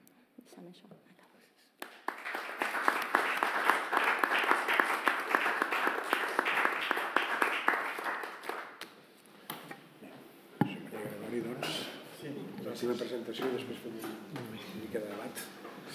Bé, bona tarda a tothom. Gràcies per haver-me convidat en aquesta sessió compartida amb persones tan, tan sàvies i tan, eh, tan expertes en el tema del patrimoni. La meva exposició serà molt modesta en el sentit que mm, jo comparteixo moltes de les coses que hem dit aquí, eh, de, però ens trobem, en el món de la música, ens trobem en una fase encara molt arqueològica o sigui, encara estem fent allò que deia en Joan Noguer, encara estem catalogant, descobrint repertoris, eh, fons, inventariant, o sigui que estem fent realment excavacions eh, al nivell com el que es feia al segle XIX, pràcticament. Eh? Vull dir que portem un retard molt important. I, i també m'ha interessat molt tot això que has comentat no? sobre la, aquesta, aquesta, aquest binomi entre el material i el material, fins a quin punt, en el cas de la música, eh, funciona, perquè si ens posem una mica quàntics, veurem que hi ha un fil invisible que connecta l'un amb l'altre, que per tant no, no, hem, no, hem, no podem caure en el joc d'aquesta dualitat. Eh? Perquè, en fi, això en tot cas en parlarem després, si voleu, perquè em penso que serà molt interessant, perquè, clar, la música, eh, eh, la música és un llenguatge que, en, en la majoria de les casos, sobretot en el patrimoni històric, eh, està il·lustrant un text, està il·lustrant uns conceptes, unes imatges, i per tant està sent el símbol d'un símbol en, moltes, en molts casos. No? Llavors aquí sí que entrem en aquesta dimensió més filosòfica, si voleu, no? de, de lo que seria el patrimoni immaterial del, del llegat musical. Eh, Catalunya és un dels països, malgrat les guerres que hem tingut, els terratrèmols, les cremes, les sacsejades, tot, malgrat la història, en diu una història molt, molt eh, perjudicial per la, per la conservació del patrimoni, però malgrat tot tenim molt patrimoni, molt musical, eh? me'n refereixo molt. En tindria molt més, és clar, si no hagués passat el que va passar a la Guerra Civil, no? perquè normalment quan, quan ensenien els orgues a les esglésies ho feien amb els papers de música, perquè, clar, l'arxiu estava al costat de l'orgue, les vegades l'organista ja tenia el seu armariet amb les seves partitures, per tant, eh, en fi, què, què més us haig de dir, no? Eh, tota aquesta riquesa documental que hem preservat es fa palesa en aquest mapa de centres, aquest teixit de centres, on es conserven els fons musicals del país, constituïts per grups, per conjunts de, de, de, de documents produïts, reunits, utilitzats per una, ja sigui per una persona, per una institució, per una entitat, en l'exercici de les seves funcions eh, musicals. No? En el seu conjunt, els fons musicals esdevenen els contenidors de veritables tresors sonors, tant si ens remetem als primers testimonis de la representació musical escrita de l'època medieval, com els materials procedents de la tradició oral de finals del segle XIX o com les partitures eh, més innovadores en temes de notació de la música contemporània. Aquestes partitures són com mapes, mapes de, de geografia, pràcticament. No? Des de temps immemorial, els grans arxius curadors dels fons musicals han estat els eclesiàstics. Els capitulars, diocesans, parroquials, monacals, etc., ells han estat els primers a donar testimoni d'una trajectòria arxivística que troba les seves arrels precisament en les seculars fundacions medievals no? i que en l'actualitat acullen encara aquest immens llegat de compositiu de mestres de capella i organistes que ha pogut sobreviure totes aquestes ensolciades i esdeveniments que hem viscut recentment. No? Amb el pas del temps, però, diguéssim que aquest relleu de, pel que fa a la preservació i conservació ha passat a centres, a institucions que en la cruïlla del segle XIX i XX neixen amb la voluntat ja i amb la missió de conservar, de preservar i de difondre el patrimoni musical de, del país, com és el cas de la Biblioteca de Catalunya, que és, era la biblioteca de l'Institut d'Estudis Catalans, i com és el cas de l'Arxiu de l'Orfeo Català, transformat avui en dia en el CEDOC, Centre de Documentació de l'Orfeo Català, o a mitjans del segle XX, el Museu de la Música. Eh? Ai, me n'he saltat dos, perdoneu. Deixem-me parlar una mica dels antecedents per situar-nos. La primera dècada del segle XX palès el desvellament d'una consciència patrimonial que marca el ritme de les primeres actuacions orientades a identificar, preservar i estudiar el patrimoni històric, documental i artístic de Catalunya. Noves institucions com la Junta de Museus, l'Institut d'Estudis Catalans i la Biblioteca de Catalunya, potenciades per la Mancomunitat, neixen en l'àmbit de la societat civil amb la missió i amb la voluntat de servei públic, ja podríem dir, de contribuir a la preservació i al coneixement del patrimoni cultural del país. L'aparició de figures tan singulars en el terreny de la música com Felip Pedrell i Francesc Pujol van propiciar el desvetllament de la consciència patrimonial dels béns musicals des de dues institucions pioneres que van ser l'Orfeo Català i l'Institut d'Estudis Catalans Biblioteca de Catalunya. No vull allargar amb tot aquest procés, eh, però simplement fer una mica d'explicació de, i de pedagogia. No? L'Orfeo Català, fundat per Lluís Millet i Amadeu Vives l'any 1891, compta des dels seus orígens amb la col·laboració d'en Francesc Pujol, un personatge bastant desconegut respecte a Felip Pedrell, però que, que té una importància capdalt, i que, que, que, que hem de reivindicar. Algú hauria de fer una tesi sobre en Pujol perquè és un, és un personatge molt interessant. Molt interessant. Ell va ser sotsdirector, bibliotecari, arxiver de l'Orfeo Català entre l'any 1901 i l'any 40 i l'Orfeo va contribuir de forma decisiva a la, a la recuperació del patrimoni a través de la publicació de la revista musical catalana entre l'any 4 i l'any 36, just, just quan de la guerra, i, evidentment, el que ja s'ha parlat abans, l'obra del cançoner popular de, tradicional de, de Catalunya que va començar l'any 22 sota direcció precisament d'en Francesc Pujol. No? Eh, la Biblioteca de Catalunya no, no, no, no trasllado ara no em trasllado al present, eh? parlo només d'aquesta època de transició i de, de, de fonamentació. La creació de la Biblioteca de Catalunya l'any 7, nascut de, a l'empara de l'Institut, eh, acompleix l'ideari, eh, diguéssim, d'Enric de Prat de la Riba les funcions pròpies d'una verdadera Biblioteca Nacional de, de, de Catalunya. No? Entre la seva creació l'any 7 i la seva obertura al públic l'any 14, la biblioteca es nodreix de notabilíssimes col·leccions bibliogràfiques i documentals, entre elles la Biblioteca Musical de Joan Carreras i Dagas, la biblioteca musical importantíssima, que mm, va anar d'un pam que no se'n va a França, mm, sort que en Felip Adell va intervenir mm, va fer moltes gestions perquè se la quedés, se la quedés, es quedés a Catalunya, perquè en, en Joan Carreras i Dagas, tu potser ho coneixes, Joan, això, en Joan Carreras i Dagas, ell la volia vendre a la Diputació de Girona, però la Diputació de Girona no, no tenien els diners per poder-la adquirir. Llavors aquí va haver un rifirrafe i eh, s'hi van posar pel mig alguns, eh, se'n volien anar a la Biblioteca Nacional de París, perquè de París es van portar moltes coses, no? I, i finalment Felip Adell va aconseguir que la Diputació de Barcelona comprés l'any 1892 aquest fons riquíssim, que és el fons sobre el qual es construeix tota la secció de música de la Biblioteca de Catalunya, que és el més important que tenim, evidentment, al, país. No?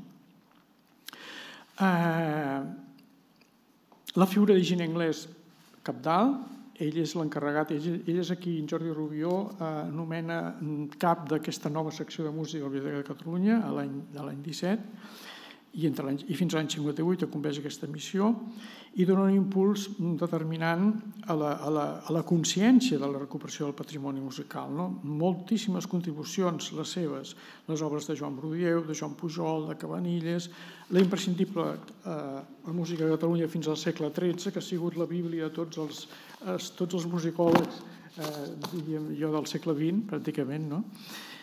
I, i, i, i bé, i després doncs, del relleu de mossèn Anglès, mossèn Llorenç, que va succeir-lo, etc etc. El monestir de Montserrat també l'hem d'esmentar, perquè encara que no sigui, paral·lelament a aquestes institucions, diguéssim, en funció pública, de funció pública, el monestir de Montserrat acompleix una tasca importantíssima, que és que recupera els seus mestres de l'escolania gràcies a la iniciativa del pare David Pujol, entre l'any 30 i l'any 36 publica cinc volums, cinc, eh, estaria dit, eh, cinc volums dels mestres de l'escolania amb les obres de Serarols, López, els, els grans, diguéssim, els antics, per entens, els músics del, del 17 i transició cap al 18. No? Aquesta col·lecció que va engegar el pare Pujol va la va seguir el pare Estrada, el pare Sagarra, el pare Daniel Codina, i avui i ara estem també s'està estem en, dic estem perquè estic ficat en una comissió amb una editorial que estem mirant de, de, de reengegar aquesta col·lecció amb noves, amb noves edicions. No? Quan entrem a la postguerra, eh, en plena postguerra es crea a Barcelona l'Institut Espanyol de Musicologia, aquí al carrer Xipsieques, al CSIC, l'any 43, i es crea a Barcelona perquè mossèn Anglès és l'home escollit per dirigir per, per, per construir per tot el projecte i per gestionar tota aquesta institució. Evidentment, com que ell és a Barcelona, ell posa com condició que es faci a Barcelona, perquè en principi l'Institut Espanyol de Psicologia es volien fer a Madrid, però políticament va aconseguir que es fes aquí. No? I ell el va dirigir doncs, durant molts anys, va, va, va crear la col·lecció Monumentos de la Música Espanyola, però és clar, estem parlant d'una institució d'orientació estatal, evidentment. Eh? Jo la situo aquí perquè geogràficament és aquí, eh? però evidentment no, no, en fi, no, no, no quadra per, per dir-ho així amb les directrius que havíem tingut abans de la guerra amb les institucions pioneres en aquest sentit, com l'Orfeo Català o Biblioteca de Catalunya. Però bé, la tasca de l'Institut Espanyol va ser enorme, la seva contribució a la musicologia hispànica, diguéssim, va ser, va ser molt gran, i figura, la figura d'anglès va ser succeïda per, per en Miquel Querol, que també va ser president i fundador de la Societat Catalana de Musicologia, d'aquí de, de l'IEC, i després per mossèn, mossèn Llorenç, i posteriorment per altres, diguéssim, eh, persones que l'han gestionat fins a l'actualitat, que està dirigida la secció de música, la secció del... L'antic espanyol, espanyol de musicologia està dirigit per l'Emili Ros, que és l'actual president de la Societat Catalana de Musicologia. En aquest marc d'institucions postguerra hem de situar la creació del Museu de la Música, l'any 46, que va néixer, que va néixer amb el trasllat de l'Escola Municipal de Música al, al, al Conservatori del carrer del Bruc. Això va afavorir la creació del museu. Se'n va fer càrrec Josep Ricard i Mates, un acadèmic de la Real Acadèmia de, que després serà acadèmic del Real Acadèmia de Sant Jordi, i eh, el succeí Manuel Valls i Gorina, que és qui va traslladar al museu de les antigues, de l'antigues golfes, o de l'antic àtic, per dir-ho elegantment, de l'Escola Superior de Música, la va traslladar al Palau del Baró de Quadres de l'Eixample, aquest palau modernista. No? Allà va estar i allà va ser on, precisament, en Romà Escales, membre també de la secció, doncs, va agafar el relleu de la direcció del museu l'any 83, fins que l'any 2007 es va traslladar a l'auditori. Quan ens situem en l'època autonòmica, ho, ho diem així, no? perquè no sé com, com dir-ho, l'època autonòmica, en la que encara hi som, no? Bé, no, deixeu, no, no vull dir res més. Doncs, eh, diguéssim, els antecedents immediats que tenim són aquests. La creació d'un centre de documentació musical a la Universitat Autònoma de Barcelona sota l'impuls d'en de, Francesc Bonastre, eh, que entre els anys 73 i 79 va eh, endegar la catalogació de fons importantíssims. Per exemple, la Catedral de Tarragona, l'Església del Pi, es va començar llavors. El que passa que no es van acabar, però sí que es van començar. Eh, Santa Maria de la Geltrú, Sant Esteve d'Olot, Santa Pau dels Arts, Sant Joan de les Abadeses, Canet de Mar, són fons que es van començar en aquells anys i però que no es van, no es van acabar de tancar. La labor d'aquest CDM incipient es va transformar, eh, la va recollir, vull dir, a l'Institut de Documentació i Investigació Musicològica Josep Ricard i Mates, que es va crear l'any 1980, en conveni entre la, la Real Acadèmia de Belles Arts de Sant Jordi i la Universitat Autònoma, seguint sota direcció també d'en Francesc Bonastre, i que va esdevenir durant els anys 80 un centre pioner dins el conjunt de l'estat espanyol sobre temes de patrimoni musical. No hi havia cap altra institució eh, d'aquest nivell. No? Eh, de fet, dins de l'Institut Ricard i Mates, l'Institut Ricard i Mates es va clausurar l'any 2016 eh, i tots els seus fons es van reintegrar a la Real Acadèmia Catalana de Belles Arts de Sant Jordi. Però dins de l'Institut Ricard i Mates, l'any 2002, precisament va néixer l'IFMUC, aquest projecte que vam començar des de la universitat, quan encara érem Institut de Musicologia i que ara estem, eh, que portem conjuntament amb Fontes Música Catalònia, que és el projecte de l'IEC, no? que és el que us vull, us vull explicar. També volia fer esment, mm, per cortesia, al Centre de Documentació Musical de la Generalitat de Catalunya, que va crear el 1983, que va dirigir Montserrat Albet en els seus inicis, però que es va crear eh, gràcies a l'adquisició la, dels fons d'en Josep Sobirà, un músic, musicòleg també, de més de, amb més de 12.000 volums de patrimoni bibliogràfics, amb, els, amb fons documentals d'Enric de, Granados, de, de, en fi, de Morera, dels Lamote de Grinyon, vull dir, tenia un fons molt important. Tot aquest fons, quan es va clausurar al centre, va passar a la Biblioteca de Catalunya i ara és allà. I després també volia fer esment d'aquest equip de, format per Maria Esther Sala i Josep Maria Vilar, dos musicòlegs formats a la UAB, que van fer una tasca discreta però, però molt, molt encertada de sensibilització a través de la revista musical catalana sobre els fons musicals de Catalunya. Van anar traient regularment a cada número un petit, eh, una petita ressenya, un report sobre un fons musical diferent. En van fer 30, 30 i pico, gairebé 40. I després ja entrem, eh, passats els antecedents, entrem ja en l'estat de la qüestió, que és on som ara, el projecte actual, el projecte IFMUC i el projecte Fontes de, de l'IEC. Eh, és un projecte que neix tant l'IFMUC com el Fontes, jo els vinculo els dos, els, els, els poso junts perquè de fet són, són, són el mateix. No? L'IFMUC s'endega a la Universitat Autònoma l'any 2001 amb l'objectiu de promoure, de continuar i de promoure la catalogació dels fons musicals de Catalunya i facilitar el lliure accés al contingut d'aquestes descripcions als seus registres. No? A hores d'ara, l'IFMUC eh, ofereix un portal amb 15.355 15 registres d'obres manuscrites impreses entre els segles XV i XXI, de 28 fons musicals, eh, 21 dels quals han estat ja, eh, catalogats amb catàlegs impresos i gràcies al concurs de, diverses, eh, diversos patrocinis. Eh?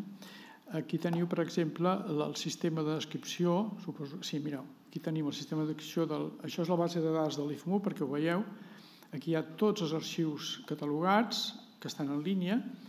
I agafem, per exemple, abans hem parlat de Tarragona, anem a Tarragona, que és molt maco, i teniu la catedral, podeu s'accedeix a la fitxa catalogràfica del fons, amb tota la descripció, diguéssim, del suport, abast i contingut, etc etc, i a les seves col·leccions aquestes sis col·leccions de manuscrits d'autor, anònims, llibres corals, llibres de faristol, que són llibres de polifonia, i impresos d'autor. Fixeu-vos, aquí, per exemple, tenim ja doncs, cadascun dels registres d'aquesta base de dades de la col·lecció de manuscrits d'autor i quan fem el registre complet, doncs aquí tenim tots els camps de descripció eh, complimentats, eh, amb una novetat molt interessant, que és una, una cosa, i va ser innovadora a Europa en aquell moment, quan vam començar no ho feia ningú encara, que era la inclusió de la imatge de l'incipit musical tal com està en el document.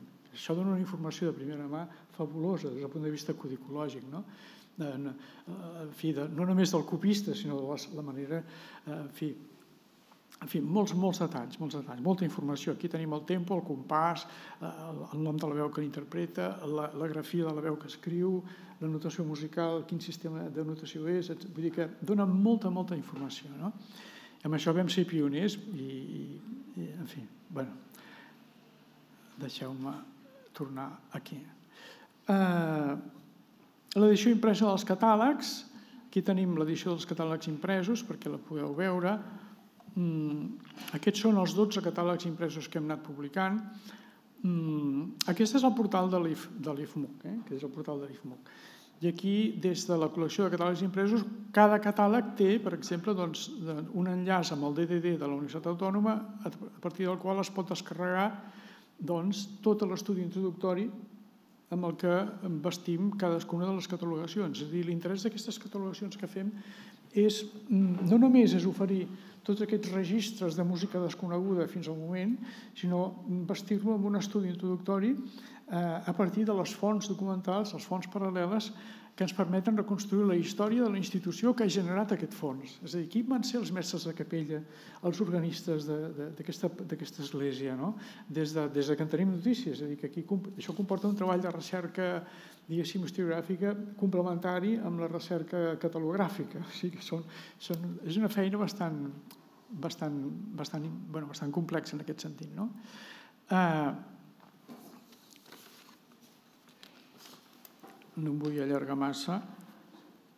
Entre el 2003 i el 2002 l'IFMUC eh, ha comptat amb cinc eh, projectes estatals del MICIN i el MINECO, projectes de 3 o de 4 anys, no? I ha comptat també amb, els, amb, el, amb el projecte germà, que és Fontes Músics a Catalunya i de l'IEC, amb set programes anuals des de l'any 18 fins a l'actualitat. Eh? Gràcies a Fontes estem desenvolupant eh, aquesta, aquest mapa de, de fons musicals a Catalunya, a veure si ens el deixa obrir. Veig que va... Ah, mira, aquí el tenim. Aquí tenim un mapa que també té la vocació d'esdevenir una aplicació, una aplicació Eh, per a mòbils, estem ara treballant la, manera de fer-ho, construir una aplicació per a mòbils perquè es pugui, des d'aquí es puguin consultar totes les dades, no només la localització de l'arxiu i les seves dades, diguéssim, eh, pròpies de la fitxa de fons, sinó també els continguts del fons, és a dir, la catalogació del fons directament des del mòbil. No? Per exemple, doncs, tenim eh, alguns dels fons, deixa'm buscar un que sigui maco de veure, bueno, tots ho són, eh? però mira, la, la Canet, la Canet, doncs aquí tenim, per exemple, doncs, el nom del títol, la, la, la tipologia d'accés, les publicacions relacionades amb el fons, l'enllaç amb, el, amb el DDD que ens dona l'estudi sobre el fons, veieu, no? I, i a la vegada l'enllaç amb la base de dades i amb totes les col·leccions que té el fons. És a dir, que és de la mateixa aplicació ho tenim tot, tot reunit. I ara això ho, ho estem construint amb el Carles Badal, que és el, el nostre cervell tecnològic i informàtic, estem construint aquesta aplicació per a mòbils per poder-ho fer. No? Eh, què més us volia explicar? A banda d'aquest projecte vinculat amb l'IFMUC, tenim bueno, sí, això, això m'ho he deixat de dir-ho perquè al final he deixat de mirar els papers i us ho explico així. Eh, aquí teniu una mena de panoràmica dels, dels fons que portem eh, localitzats en arxius, arxius que continguin material musical, en tenim localitzats 249 a, a hores d'ara. Eh? I fons musicals, pròpiament dits, 874. Això en data d'ahir, mm, perquè això estem revisant cada any, estem actualitzant els fons, jo crec que potser arribarem al miler perquè encara ens en falten bastants. Vull dir que hi ha molta feina amb això. Eh? I el tipus de, de, el tipus de, la tipologia d'arxius i de fons ja ho veieu, eh, dominen els de caràcter institucional. Si això ho haguéssim fet fa 30 anys o 20 anys, com vam començar, dominarien els eclesiàstics. Però des de la creació de la xarxa d'arxius comarcals de la Generalitat i eh, hi ha hagut molta, molta derivació de fons particulars, personals i d'institucions, d'entitats que han anat a parar a la xarxa de, dels arxius comarcals de la Generalitat. I també els arxius, que no és una xarxa, encara que se'n digui, però que legalment no és, tot el conjunt dels arxius municipals del país que també tenen molts fons musicals, en molts casos. I, deixant, i, i al costat d'això hi ha els museus, centres d'estudis locals, biblioteques, eh, que també hem detectat la presència de, de, fons, de fons musicals. No? També desenvolupem des de l'IFMUC un wikiprojecte, ja fa uns anys que l'estem donant a terme, això, és un, això està vinculat amb la docència universitària, en el qual tots aquests compositors que anem identificant en els fons musicals i que no teníem pràcticament dades d'ells o que eren molt desconeguts, els anem incorporant a la Wikipedia. És dir, un, dels treballs que fan els estudiants precisament és preparar una dues o tres veus, depèn, depèn de cada cas, de l'extensió que tenen, per, per penjar-les a la Wikipedia. No? Llavors aquí teniu, bueno, tenim més d'un més de, més miler eh, d'autors recuperats entre els segles XV i... En fi. Sí, sí, concloc ràpidament, ràpidament, ràpidament. Sí, sí. Dir-vos, deixa'm tancar això. Sí, bé, que tots ens passa igual, eh? quan parlem de lo nostre ens entusiasmem. Bé, tanco amb, aquestes, amb aquesta reflexió, no? aquesta voluntat que tenim, tant des de l'IFMU com des de Fontes, doncs, per restaurar aquest deure que considerem que és un deure no només és sistèmic, sinó que també és ètic i humanístic, no? de, de, de, de, de donar a conèixer la riquesa de tot aquest... que de fet són les nostres arrels, és la nostra memòria, dir, que recuperarem, recuperarem realment el nostre passat a través de la música, la nostra memòria musical. Bé, això és tot, gràcies.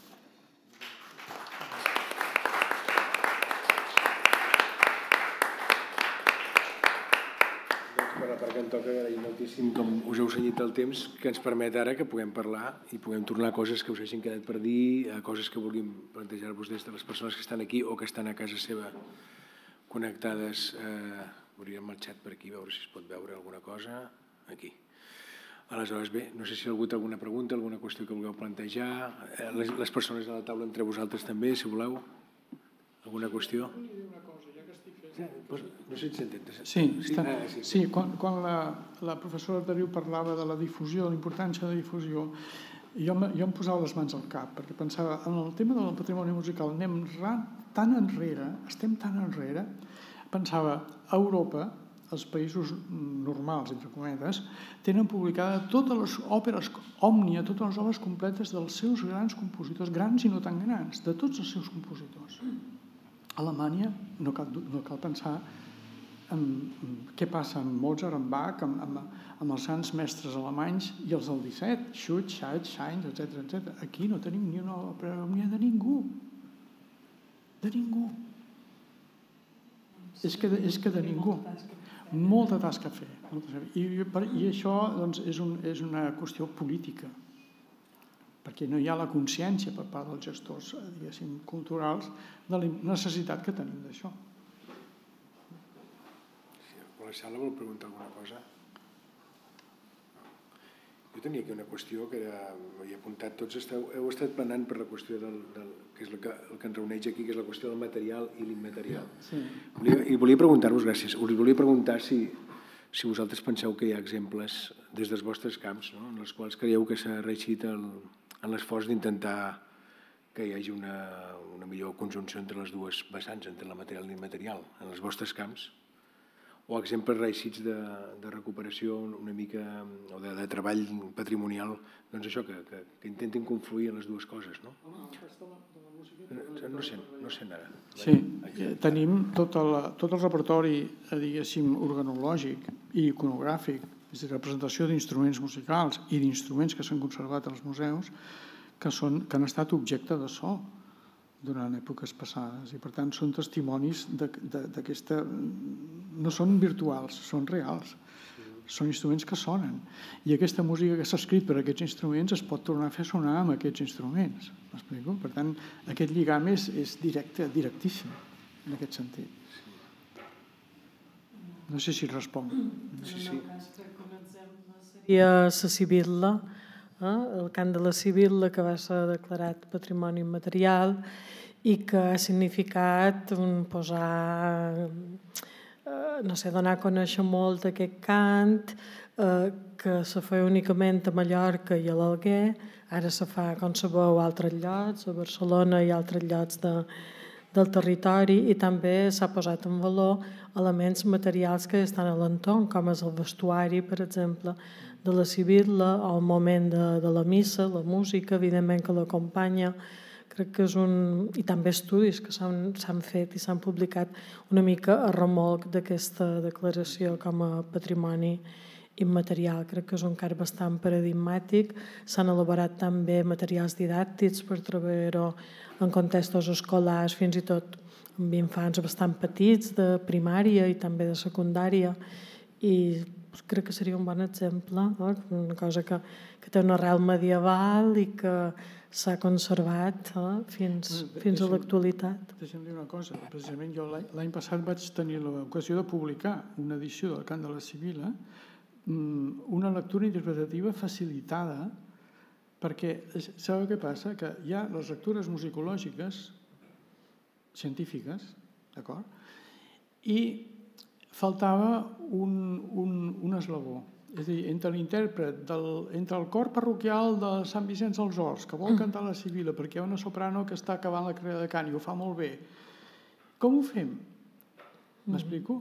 Si només si recorrem a les versions musicològiques científicament parlant, ens trobem amb una, amb una sequedat de, de, de, de, de material uh -huh. Que ens faria repetir la mateixa estrofa 12 vegades en la mateixa música. Qual cosa és un tostón. Molt, molt vale? pesat. Llavors, perdoneu que sigui tan, tan franc, eh? ho dic així amb tota uh -huh. claredat. Llavors, buscar la manera de, de fer una versió no una versió tancada, una versió oberta, amb moltes possibilitats. Una actualització. Amb un cor que pugui cantar a dues veus, a tres veus, a quatre veus. Amb un organista que pugui fer una glosa com les que feien antigament, al segle XVI. Uh -huh. O no. O que simplement pugui doblar les quatre veus. M'explico, no? Amb un cantant que pugui cantar no només les, les 12 estrofes de la Sibila de Mallorca o la de Barcelona o la de Girona, sinó que pugui fer una combinació de, mira, una de cada M'explico, i així veiem un repertori global de com era la civil arreu dels països catalans. Això mm -hmm. també Es va fer un acte a Mallorca, crec que era el mes passat, que era reunir les quatre, quatre civils dels quatre territoris, la de l'Alguer, la del País Valencià, la de Catalunya i la de Mallorca, i varen omplir la seu, vull dir, hi va haver un interès, una quantitat de gent que se va mostrar interessada per això, que no, no hi cabia ni la seu de Mallorca és prou gran, eh? i era un dia feiner, una hora baixa qualsevol, i, i va, va tenir un gran ressò. Per tant, hi ha un, un interès per part de la gent. Sí, sí. No, jo ara estava pensant que una de les conclusions, no ho sé, això les, les, és, diguem, estem a teu, arribar, si és que hi ha d'haver conclusions, però si ampliem el zoom a nivell de països catalans i a nivell de temes, clar, te n'adones, només escoltant el que hem escoltat aquí, que hi ha una diversitat enorme en els tempos, en, en la feina que queda per fer, en allò que encara no s'ha fet, eh, en les metodologies, en la pròpia concepció del que és patrimoni no és o com ho ha de ser, mm i això per una banda és una gran riquesa, bueno, que no estigui fet no és cap riquesa, és una desgràcia, perquè hauria d'estar fet, com deies tu, Josep Maria, que ha fet una tasca increïble eh, en el vostre camp, però per altra mostra que mm, no hi és, eh, no hi ha una, una, com t'ho diria, una direcció, entre cometes, eh, conceptual i alhora pràctica de, de, de fer la feina que no s'ha fet, que s'havia d'haver fet potser ja fa mig segle o un segle. No, no sí, hi és, és, és, i si és, és dispersa mm. i, i a vegades contestada fins i tot. No, sí. no, no sé. Sí, sí, sí.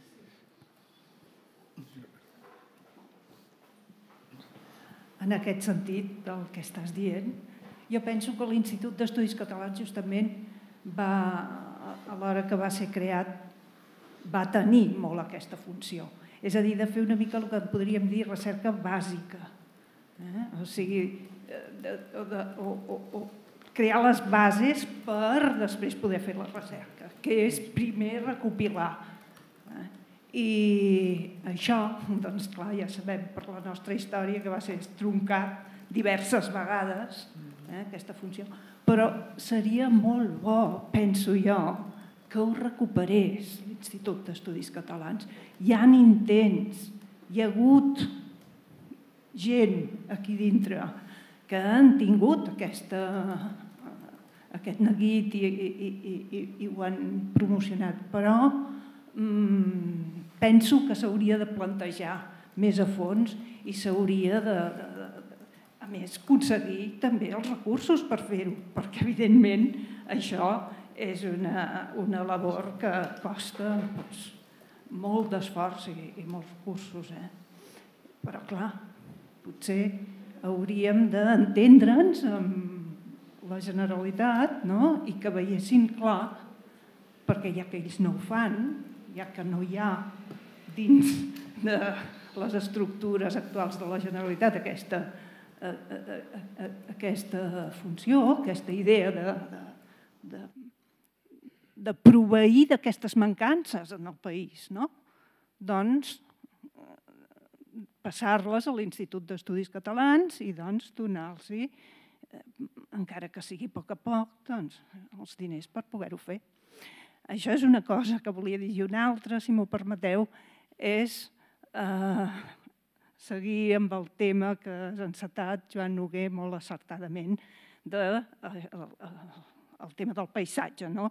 que és tant eh, cobreix uns aspectes de, de, de patrimoni immaterial i uns aspectes de patrimoni material.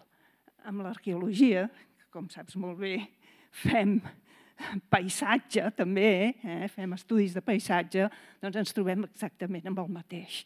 Perquè, clar, aviam, el, el, el, la idea aquesta d'estudiar el jaciment arqueològic com un lloc aïllat de tot el seu entorn, això és una cosa que ha passat, eh, ha quedat en el passat, ancorat en el passat de fa molt de temps. Eh?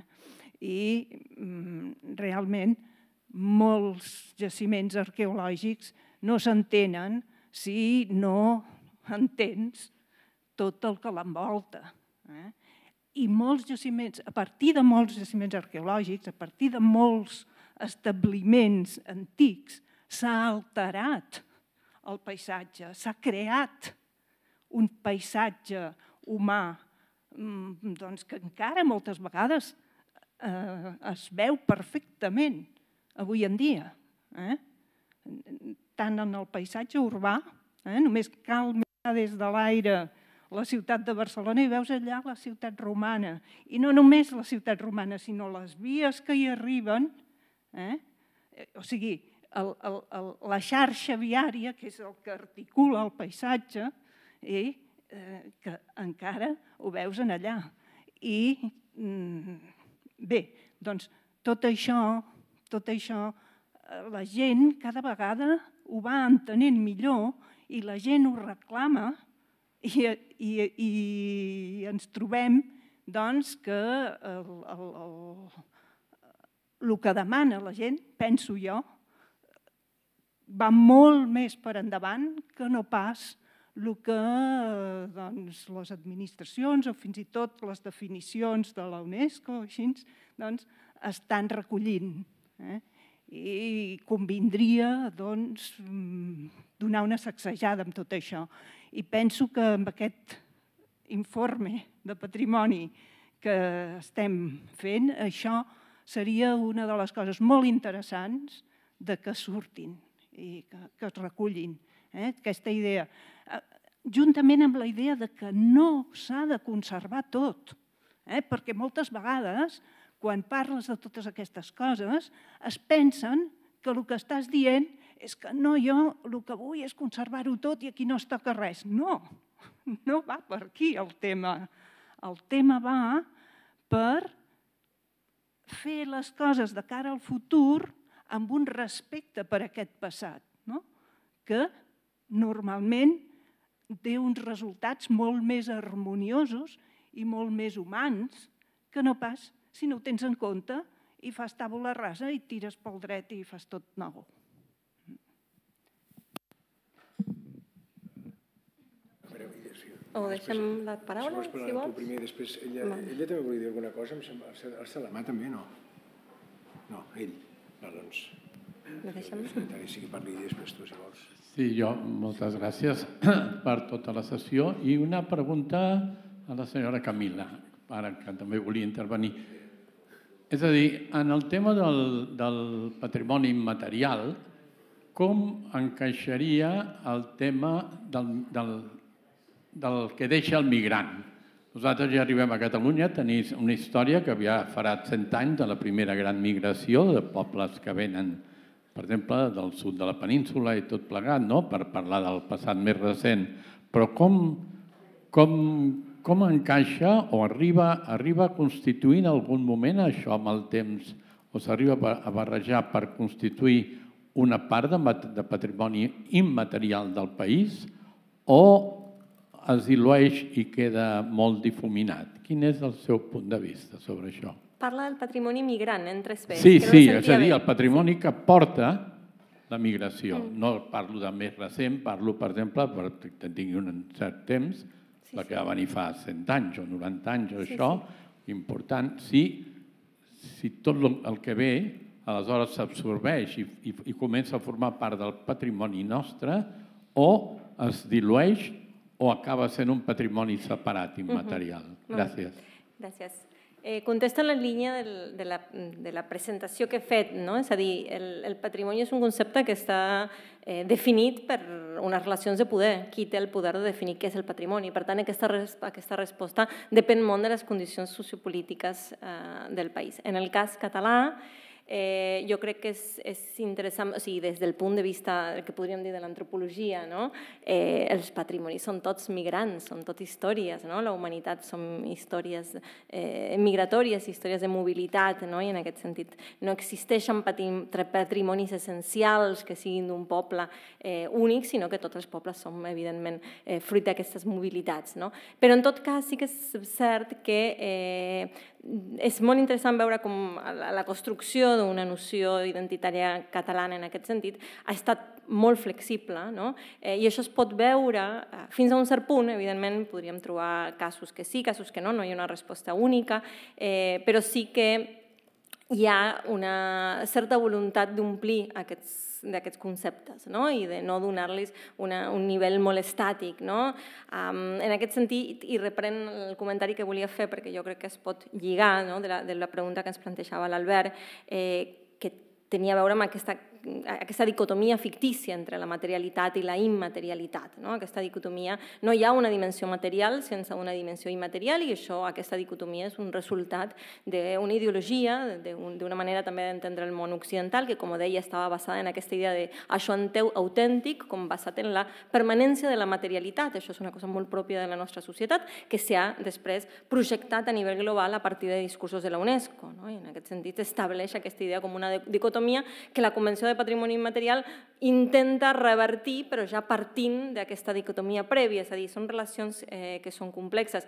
I un exemple molt interessant que jo posaria a nivell eh, català i que d'aquestes bones pràctiques que ens preguntaves una mica, eh, que és el cas de l'IPEC, de l'Inventari de Patrimoni Etnològic de Catalunya, que és un, una política de la Generalitat que va començar, si no m'equivoco, als anys 80, eh, i que parlava justament de no d'una catalogació d'una idea, no? d'inventari tradicional, que quan estudiàvem i quan vam fer una recerca al voltant dels inventaris a, a nivell global, veiem aquesta dificultat, no? com inventaries elements de la cultura popular o del, del, eh, són, és com comptar la sorra del mar, no? és a dir, no, no, no és un element que siguin identificables en si mateixos. L'IPEC el que feia era recerca etnològica, que contextualitzava, que explicava i que s'interessava per les condicions socials de producció. I en aquest inventari, eh, que malauradament ha desaparegut, que això també és, és una pèrdua important, eh, es desenvolupaven recerques que tenien molt en compte, per exemple, aquestes dimensions de la mobilitat del que seria eh, la població local i que no, eh, si tu has de catalogar, els patrimonis tenen, tenen tendència no, a, eh, d'alguna manera, eh, fer-se estàtics i seleccionar això, això i ahir tendim a l'autenticitat, aquests conceptes de això que és propi del lloc no? i que no és mestizo. Eh, jo crec que aquesta dinàmica d'un anàlisi contextual, de condicions de produccions, una mirada històrica que ens permeti parlar de les mobilitats va en contra no? i és, és la, la via per obrir-se a tot això.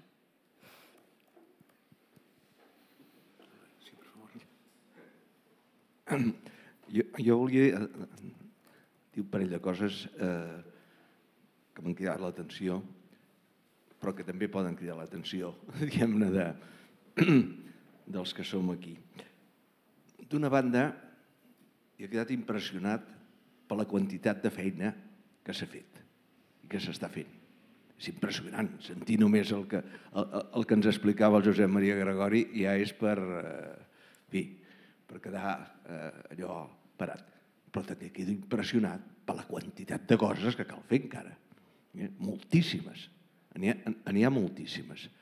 Certament l'institut pot, eh, pot i té com a obligació, perquè és un mandat fundacional, diguem-ne, estudiar, conèixer i divulgar el patrimoni, però no pot fer-ho sol. Eh? Diguem-ne, eh, avui gairebé ningú pot fer res sol eh, el que s'ha de fer és, és, és, és això, unes xarxes col·laboratives en què puguem aportar. Però això vol dir, doncs, en fi, eh, una visió global mm, que en aquests moments jo no, en aquest país no veig, eh, en absolut. Eh, només agafant el patrimoni literari. Aquest és un país que s'ha caracteritzat sempre per donar molt de valor a la literatura, especialment des de la Renaixença. Eh? Abans, diguem-ne, en fi, havíem caigut en, en, a la creença que, no, que pràcticament no teníem literatura, eh? si no ens remuntàvem a l'edat mitjana. Bueno, la qüestió és que en aquests moments no es poden veure les obres completes de Verdaguer. No existeixen. Estan descatalogades.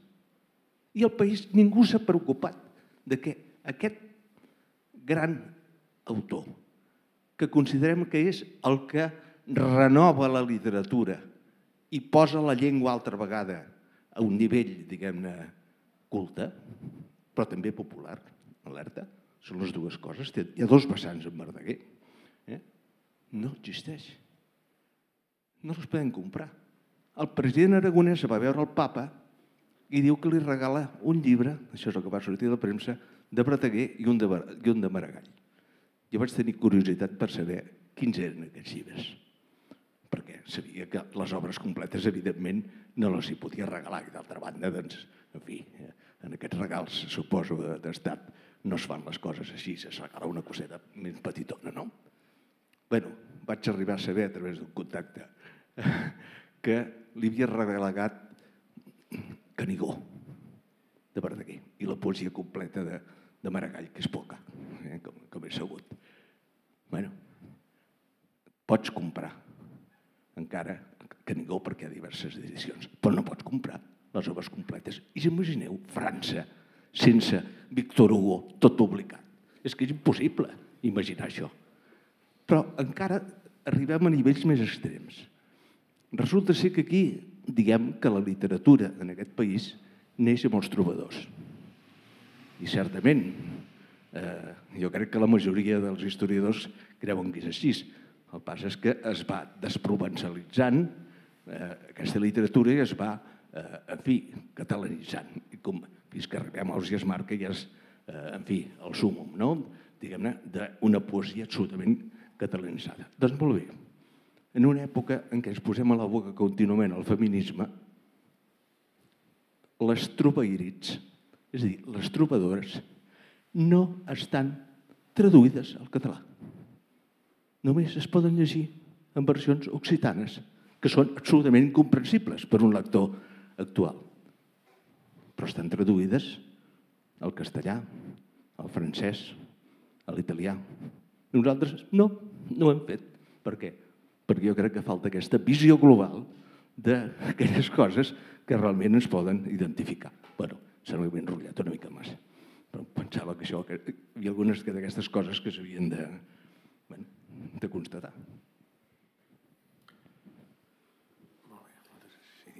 No, jo només hi voldria afegir, en relació al que s'ha dit i el que deia abans la Marta Preposti, eh, un, estem en, a l'institut, estem en una taula elaborant un informe transversal, en aquest cas sobre patrimoni.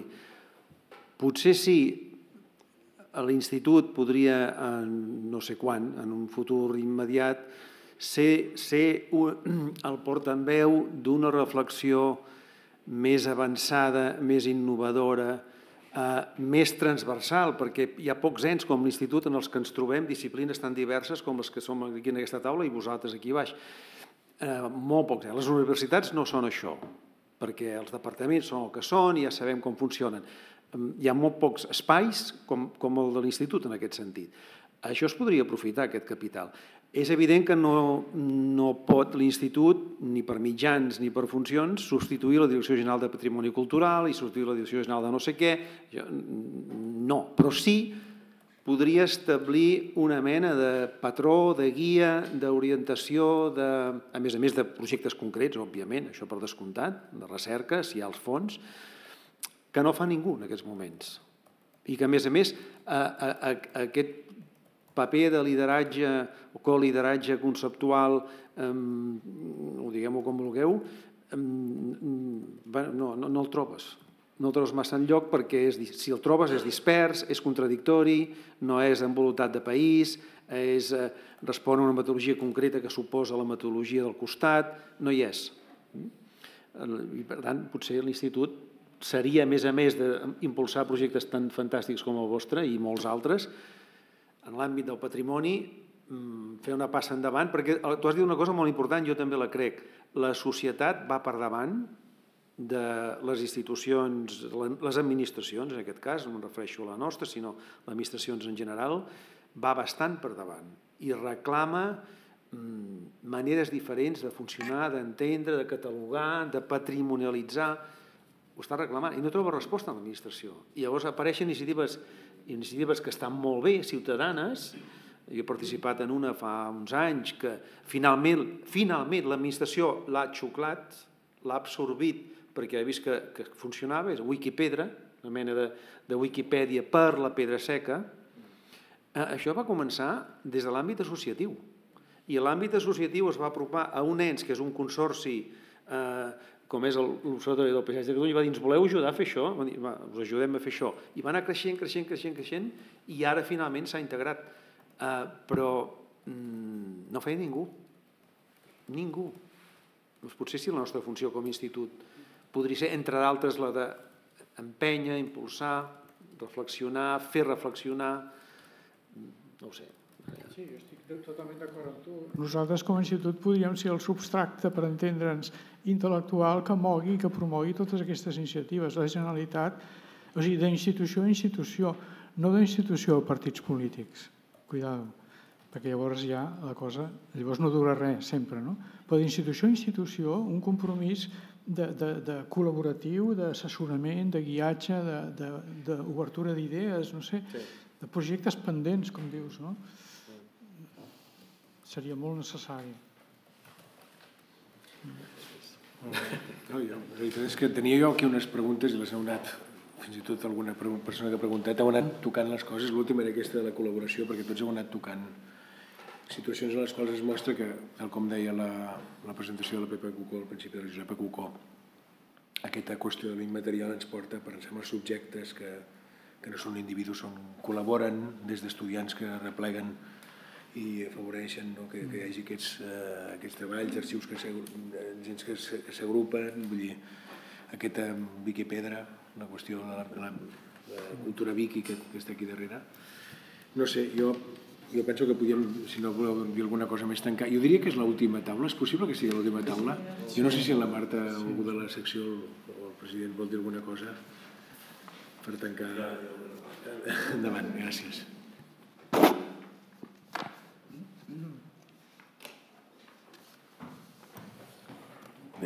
Primer de tot, diguem-ne, hem acabat, hem acabat la primera part, perquè això, eh, si té gràcia, i lligant-ho amb, amb el que preocupa a tots plegats, és que això pugui ser útil per establir algunes polítiques, diguem-ne, de, de, de patrimoni cultural. Eh?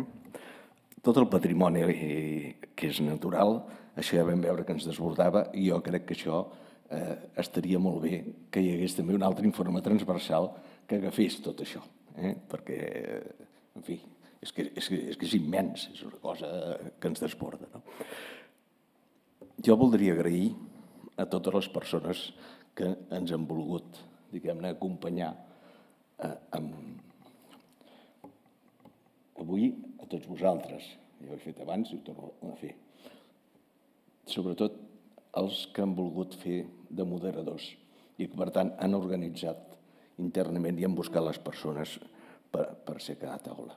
Començant per la Marta Prebosti, que va ser la primera, per en Marc Mayer, que va fer la segona, per l'Antoni Roca, que ha fet la tercera, i per la quarta, que heu fet la Josepa Cocó i l'Albert Cosí, diguem, en les parts que correspon. I això no es tracta d'allò, sinó que es tracta de sumar. No? Doncs eh, agrair-vos. Però també voldria agrair molt a l'equip de govern de l'Institut, que ens ha fet confiança, a les persones que normalment no es veuen i sense les quals es poden fer les coses. Les dues persones d'audiovisuals, l'Ernest i en Lluís, que ens donen suport i sense, sense ells ens costaria molt de fer això. També a la Secretaria de Presidència, la Maria Antònia Van Beck, i d'una manera especial, diguem-ne, a la secretària de la secció històrica-arqueològica, que li ha, li ha tocat doncs, eh, també fer tota una sèrie de gestions sense les quals no hauríem pogut tirar endavant. Jo us he de, us he de dir que aviat us començarem a, a burxar per veure si ens doneu els, ens doneu els, els vostres parlaments, perquè quan més aviat puguem, diguem-ne, començar eh, la tasca de, de, revisió i edició, doncs abans la tindrem acabada, perquè tenim un servei editorial bastant col·lapsat i eh, com més aviat diguem, els empenyem amb, amb el material, més aviat ho tindrem i més aviat també podrem anar eh, a l'administració a, a presentar-lo. I potser també pensar en una presentació col·lectiva, eh, pública, no només a l'administració, sinó pública. A veure si aconseguim, diguem-ne, que, que els mitjans diguem ens, ens facin cas. De tota manera, hem tingut, eh, hem tingut eh, dos informes abans, un sobre el Covid i un altre sobre els usos socials del català, que sí que han tingut el seu ressò i l'estan tenint. Vull dir que perquè nosaltres no podem tenir-ho també. Eh? Bé, doncs amb això cloem aquest informe. Us torno a donar les gràcies i saludo també els que han estat, diguem-ne, eh, virtualment amb nosaltres seguint aquesta, aquestes sessions. Gràcies. Bona tarda.